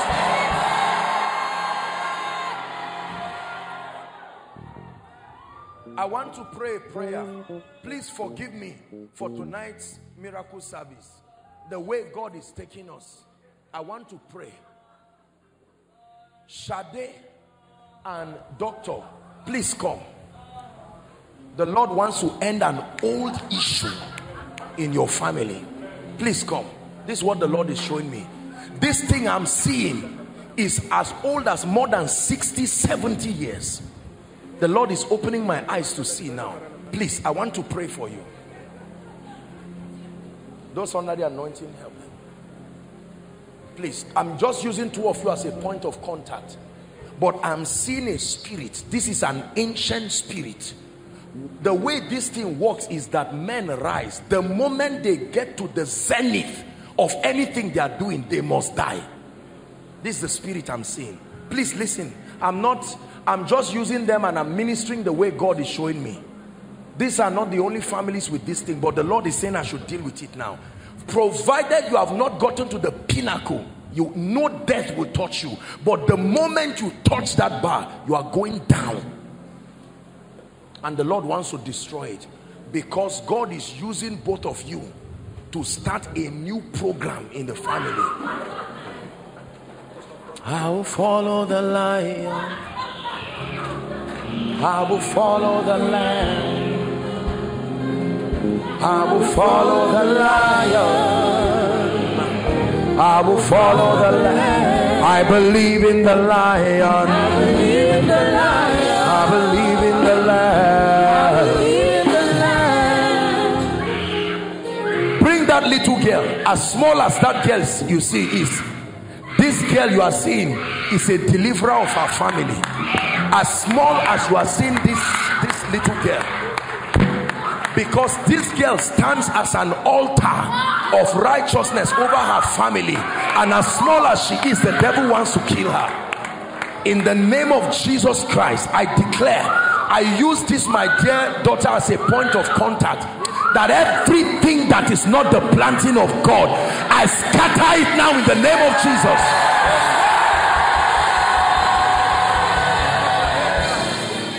may God use this our precious daughter and truly may she be the deliverer of our family. In the name of Jesus. A lady is going to start running because I'm about to pray over a spirit that is in her family. And that spirit is going to start driving her to run away. So I'm telling you in advance you are going to see the person stand up to start running away. It's, it's not even this lady I'm talking about. This somebody in the crowd you will not even you will not be in control of yourself. It's a spirit because I'm about to rebuke it right now. Father I thank you for the Bonire family and by extension the various families. The altar that sits upon this family. Even the lawful captives shall be delivered. Even the lawful captives I break that yoke now. I stand by the rod of a higher priesthood. That ancient yoke that brings down great men over this family be broken. I open up the door of increase. Rise to the zenith of your profession. I forbid the spirit of death once and for all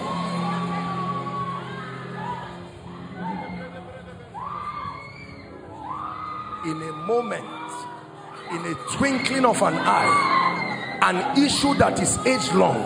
Let me tell you this. A mighty deliverance has happened to this family. This thing i'm telling you fought their grandparents fought their parents and if not delivered now will still fight them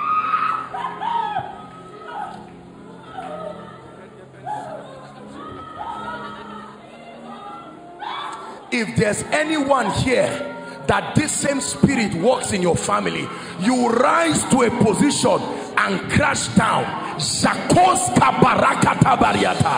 In the name of Jesus at the count of three let fire land upon such individuals and scatter that altar scatter that altar forever. In the name of Jesus Christ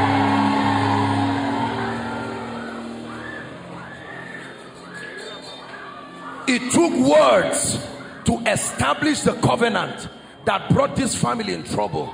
Now I declare to you a new order starts in your lineage. A new order starts in your family. Where children live long and they become successful and that every embargo of witchcraft once and for all is broken in the name of Jesus. Madam I can pray for you now where did you say you are from just, just keep her somewhere there or bring a chair and keep her. You are not from Nasarawa State. You stay in Nasarawa State. Where are you from? Ebonyi State. Ebonyi State. Ebonyi State. I want to pray for you. Am I wasting your time, please? One encounter with the power of God is enough to turn your life around. My friend, this man wearing um, you, yes. Did you come alone? Who did you come with? You- Where's your wife? Come. It's time for God to change your life.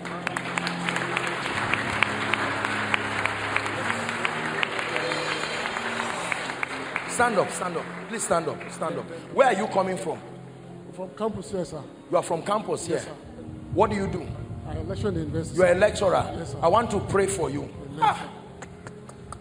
Sir, you are not supposed to be at this level now. You are a very brilliant man, but there you are intelligent. I don't know you, oh, but you are a brilliant man. It even took grace for you to be given a lecturing job. Yes, it's because there is no way they could deny you. Yes, you were too exceptional. Yes, and you are supposed to be abroad now. I don't know what has kept you down. This is what I'm seeing in the spirit. You are not supposed to be here, but somebody carried your issue and put it under the table. You see, you see what we are talking about.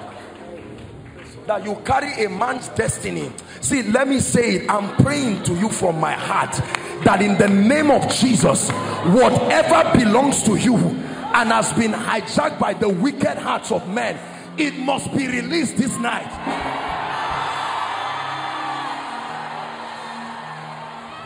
It must be released this night. Sir, please stand up. What's your department?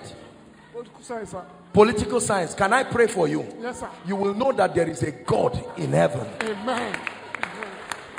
What do you do, my dear? I'm not doing anything. You are not doing anything. No, sir. Ah. I have to pray for you. Yes, sir. Huh?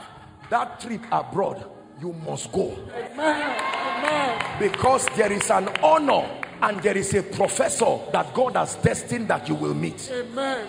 And I'm going to pray. Do you believe what I'm saying? Yes, sir. In the name of Jesus Christ, sir, I pray for you.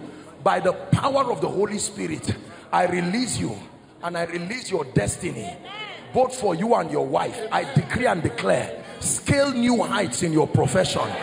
In the name of Jesus Christ. Number two,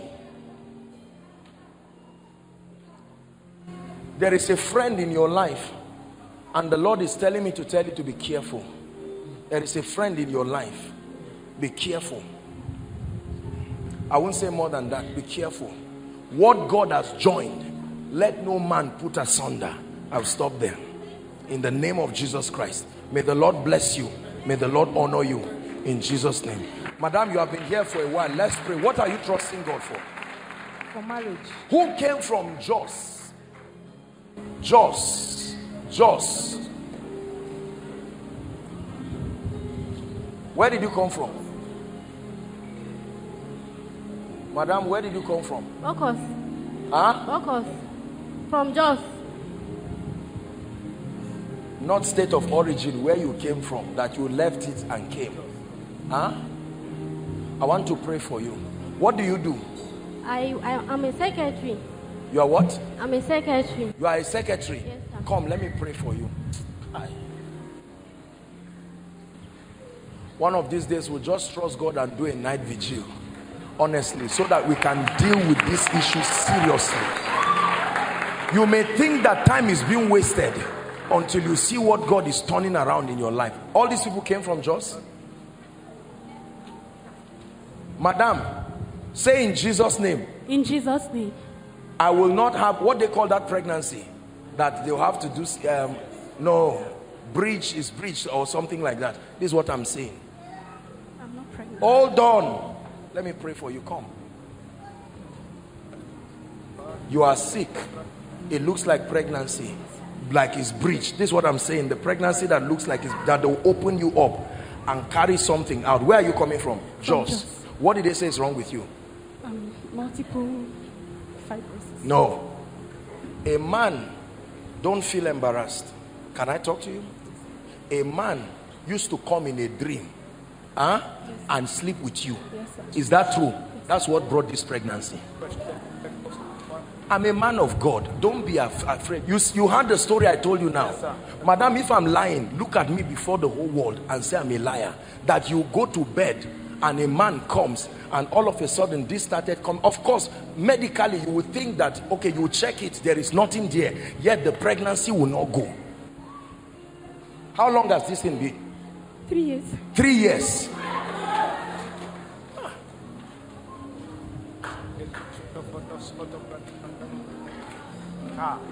Don't cry. Don't cry. Who did you come with? Thank you, Lord.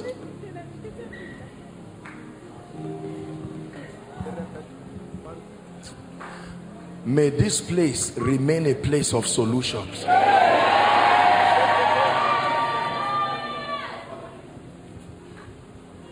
was it not the fallen angels that met with the daughters of men and they became pregnant physically and had strange go and listen to my teaching the mystery of the serpent and the woman. My sister can i pray for you? You believe in jesus. Look at this adorable lady. Look at imagine a woman carrying this for three years. Is that pregnancy Eh, does a human being stay three years in the stomach? Are you married? Of course imagine what this this means to her marital life. Put your hand there. Father in the name of jesus christ look at this. Look at what is happening to the woman. In the name of jesus christ i decree and declare that every seed that has not been planted by god let it be uprooted in this body. Is it not written that every tree that has not been planted by my father it must be uprooted? I uproot this right now. In the name of jesus christ. I uproot this right now. In the name of jesus by a strange mystery may this thing begin to go down and disappear from this woman's body. In the name of jesus christ. Just keep her down there madam. Let me pray for you. What do you want the lord to do for you? I'm believing him for a life partner. life partner. Do you believe god can give you a life partner? Yes, sir.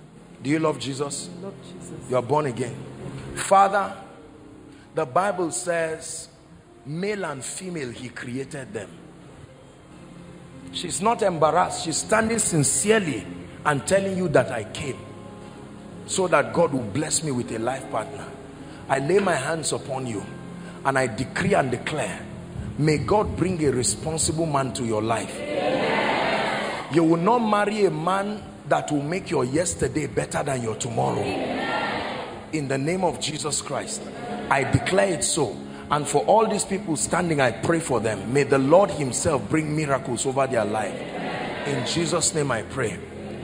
I may not have time to minister to all of you one by one. Please forgive me huh? coincidentally i'm going to Jos tomorrow. I'll be in Jos saturday sunday. I'm ministering in a conference. I'm excited. I'll be in house on the rock at rayfield saturday and sunday. I'm in Jos but let me pray for you all of you who came all the way. My dear look at me. You love jesus? Yes, sir. with all your heart? Yes, sir. i drive the boy that the devil wants to bring to your life. Say amen. Amen. you you may not understand what i'm saying but let me repeat myself. I drive i didn't say god drove him. In the name of jesus christ as one who loves you eh? i drive any irresponsible boy that is coming in the name of prayer warrior to destroy your life. Amen. in the name of jesus. I'm not looking down. It is god's will that all men be saved. But then i'm telling you that in the name of jesus christ everything that would destroy your destiny let it be far from you. By the power of the holy spirit. Praise the lord for all of you i may not know why you came but let me pray for you. In the name of jesus return with your testimonies in the name of jesus return with your testimonies in the name just believe what i'm praying for you. In the name of jesus return with your testimonies god bless you. Please go back to your seat my god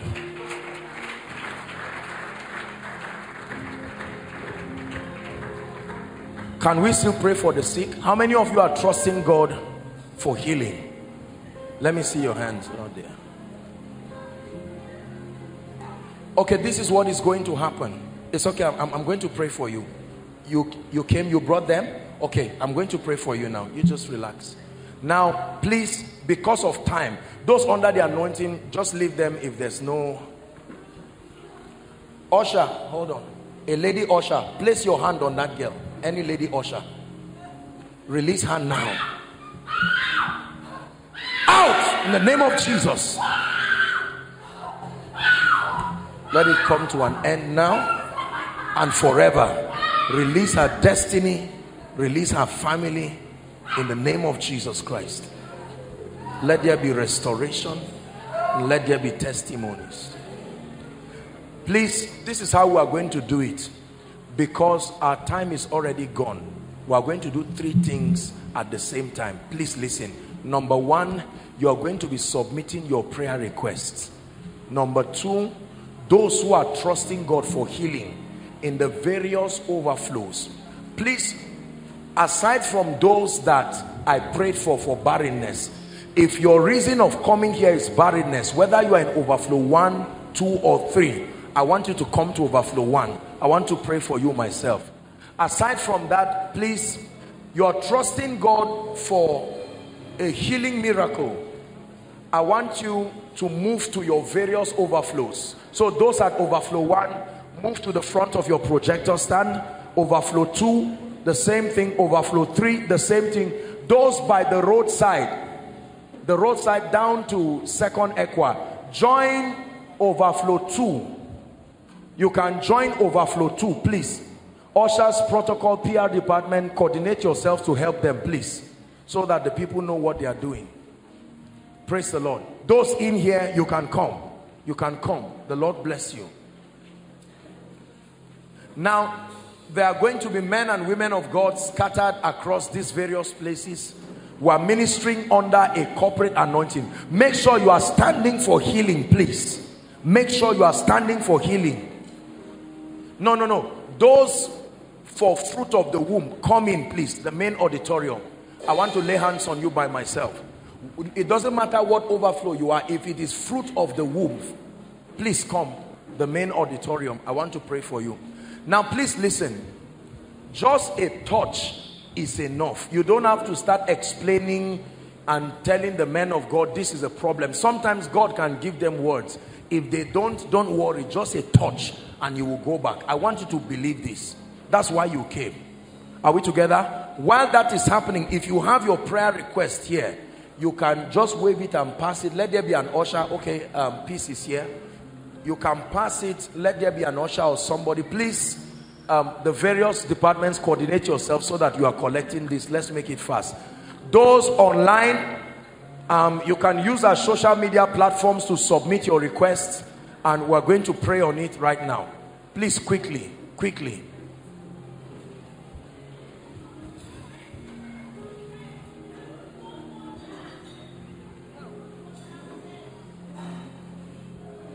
Ejimi and Ejimi and Promise will go to overflow one. Ejimi and Promise will go to overflow one. Um, Pastor Alpha and Benga will go to overflow three. Overflow three. Pastor Femi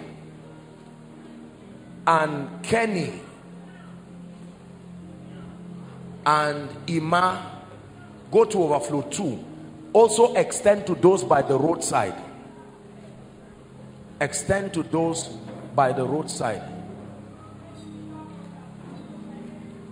did you get let me pray for you pastor lawrence come i will pray for you and then you will join those at overflow 3 in the name of jesus christ grace for you by the power of the holy spirit let the anointing, let the grace of the Spirit come upon you in the name of Jesus Christ. Amen and amen. Now, please, worship team, you give us songs of the Spirit while we're ministering. And as soon as hands are laid on you, you can go back rejoicing. Those who are seated, don't be careless, be praying in the Spirit because God is solving people's problems while you gather the prayer requests if you are yet to submit yours, just wave it and there will be someone to reach you in the name of Jesus. Father, we decree and declare that within the next 10 or so minutes that we have, do a quick walk in the life of your people. In the name of Jesus, do a quick walk in the life of your people. In the name of Jesus. Hallelujah. Someone will fall under the anointing here. Once that happens, the power of God will start move to heal. Right here, those in front here. Okay, so I can start praying now. In the name of Jesus, be healed. In the name of Jesus Christ, be healed. Praise the Lord. Please, everyone stand. Say after me, in the name of Jesus. Whether you are inside or outside, say in the name of Jesus. I decree and declare that the next dimension of my life opens up now. Lift up your voice and begin to pray. Please begin to pray.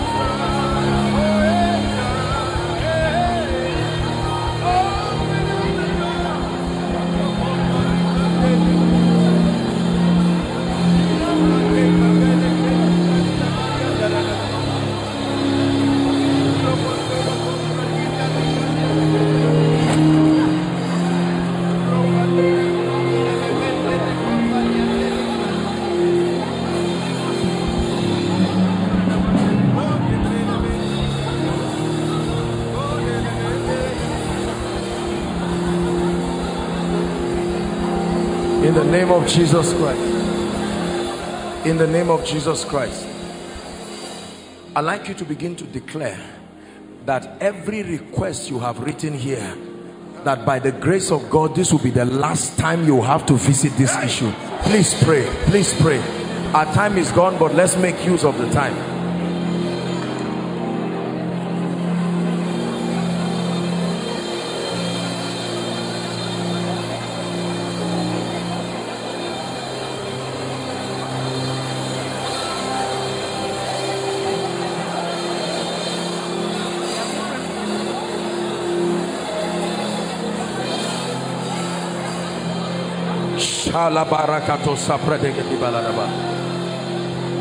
Stretch your hands here and begin to decree and declare that in the name of Jesus Christ, the Son of the living God, every request that I've written here by the God of heaven, let this be the last time.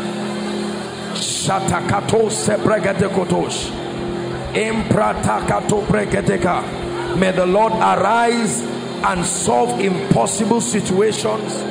Arise in the name of Jesus. Are you praying? Father, that these Egyptians that I see today, I see them no more forever. The requests of those localized here and those who have posted their requests on our social media platforms. We declare intervention, we declare breakthrough, we declare increase.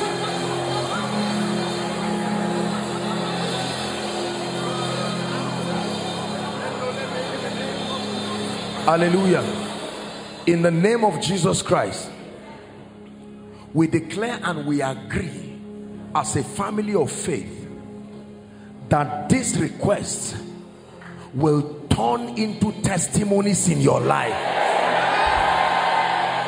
we declare that these requests turn into supernatural testimonies the same way I am standing upon them I decree you stand upon every situation that is represented here. In the name of Jesus Christ. I know that they are still praying for a few people but let me just pray the final prophetic blessing on you because our time is gone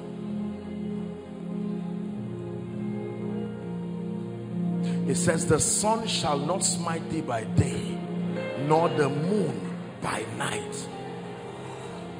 I decree and declare every economic hardship that is bringing the saints to their knees and causing them to compromise I declare that you are exempted from it now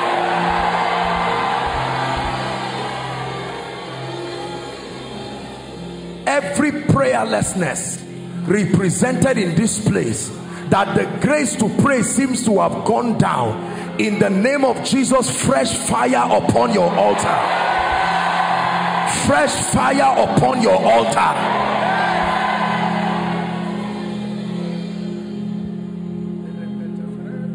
Anybody introduced by the devil into your life or your circle to destroy you I sever you from them right now in Jesus name. I speak favor over your life. And I declare in the name of Jesus walk in favor. Walk in favor. Walk in favor. Walk in favor. Walk in favor. Therefore God has exalted him and given him a name that is above every other name. It says that at the mention of that name every knee must bow. I declare whatever must bow in your life from tonight let it bow right now.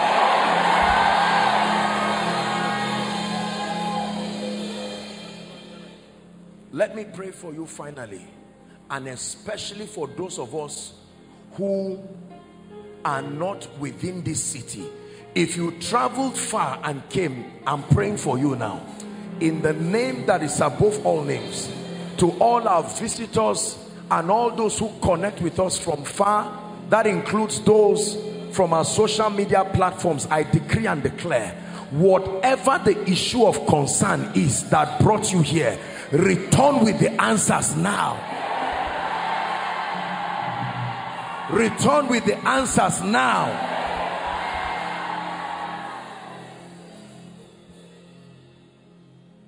you will not need to tell people you came here. There will be the radiance and the glory of the spirit upon your life. I declare that every door that has refused to open even as the lord kept revealing here i enforce it and we call that door open now.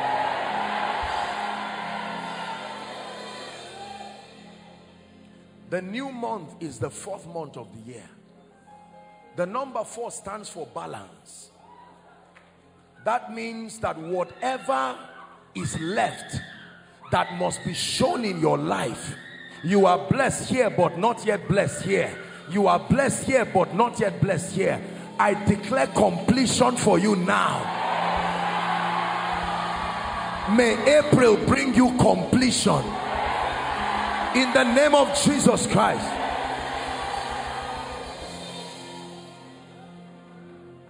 Hello.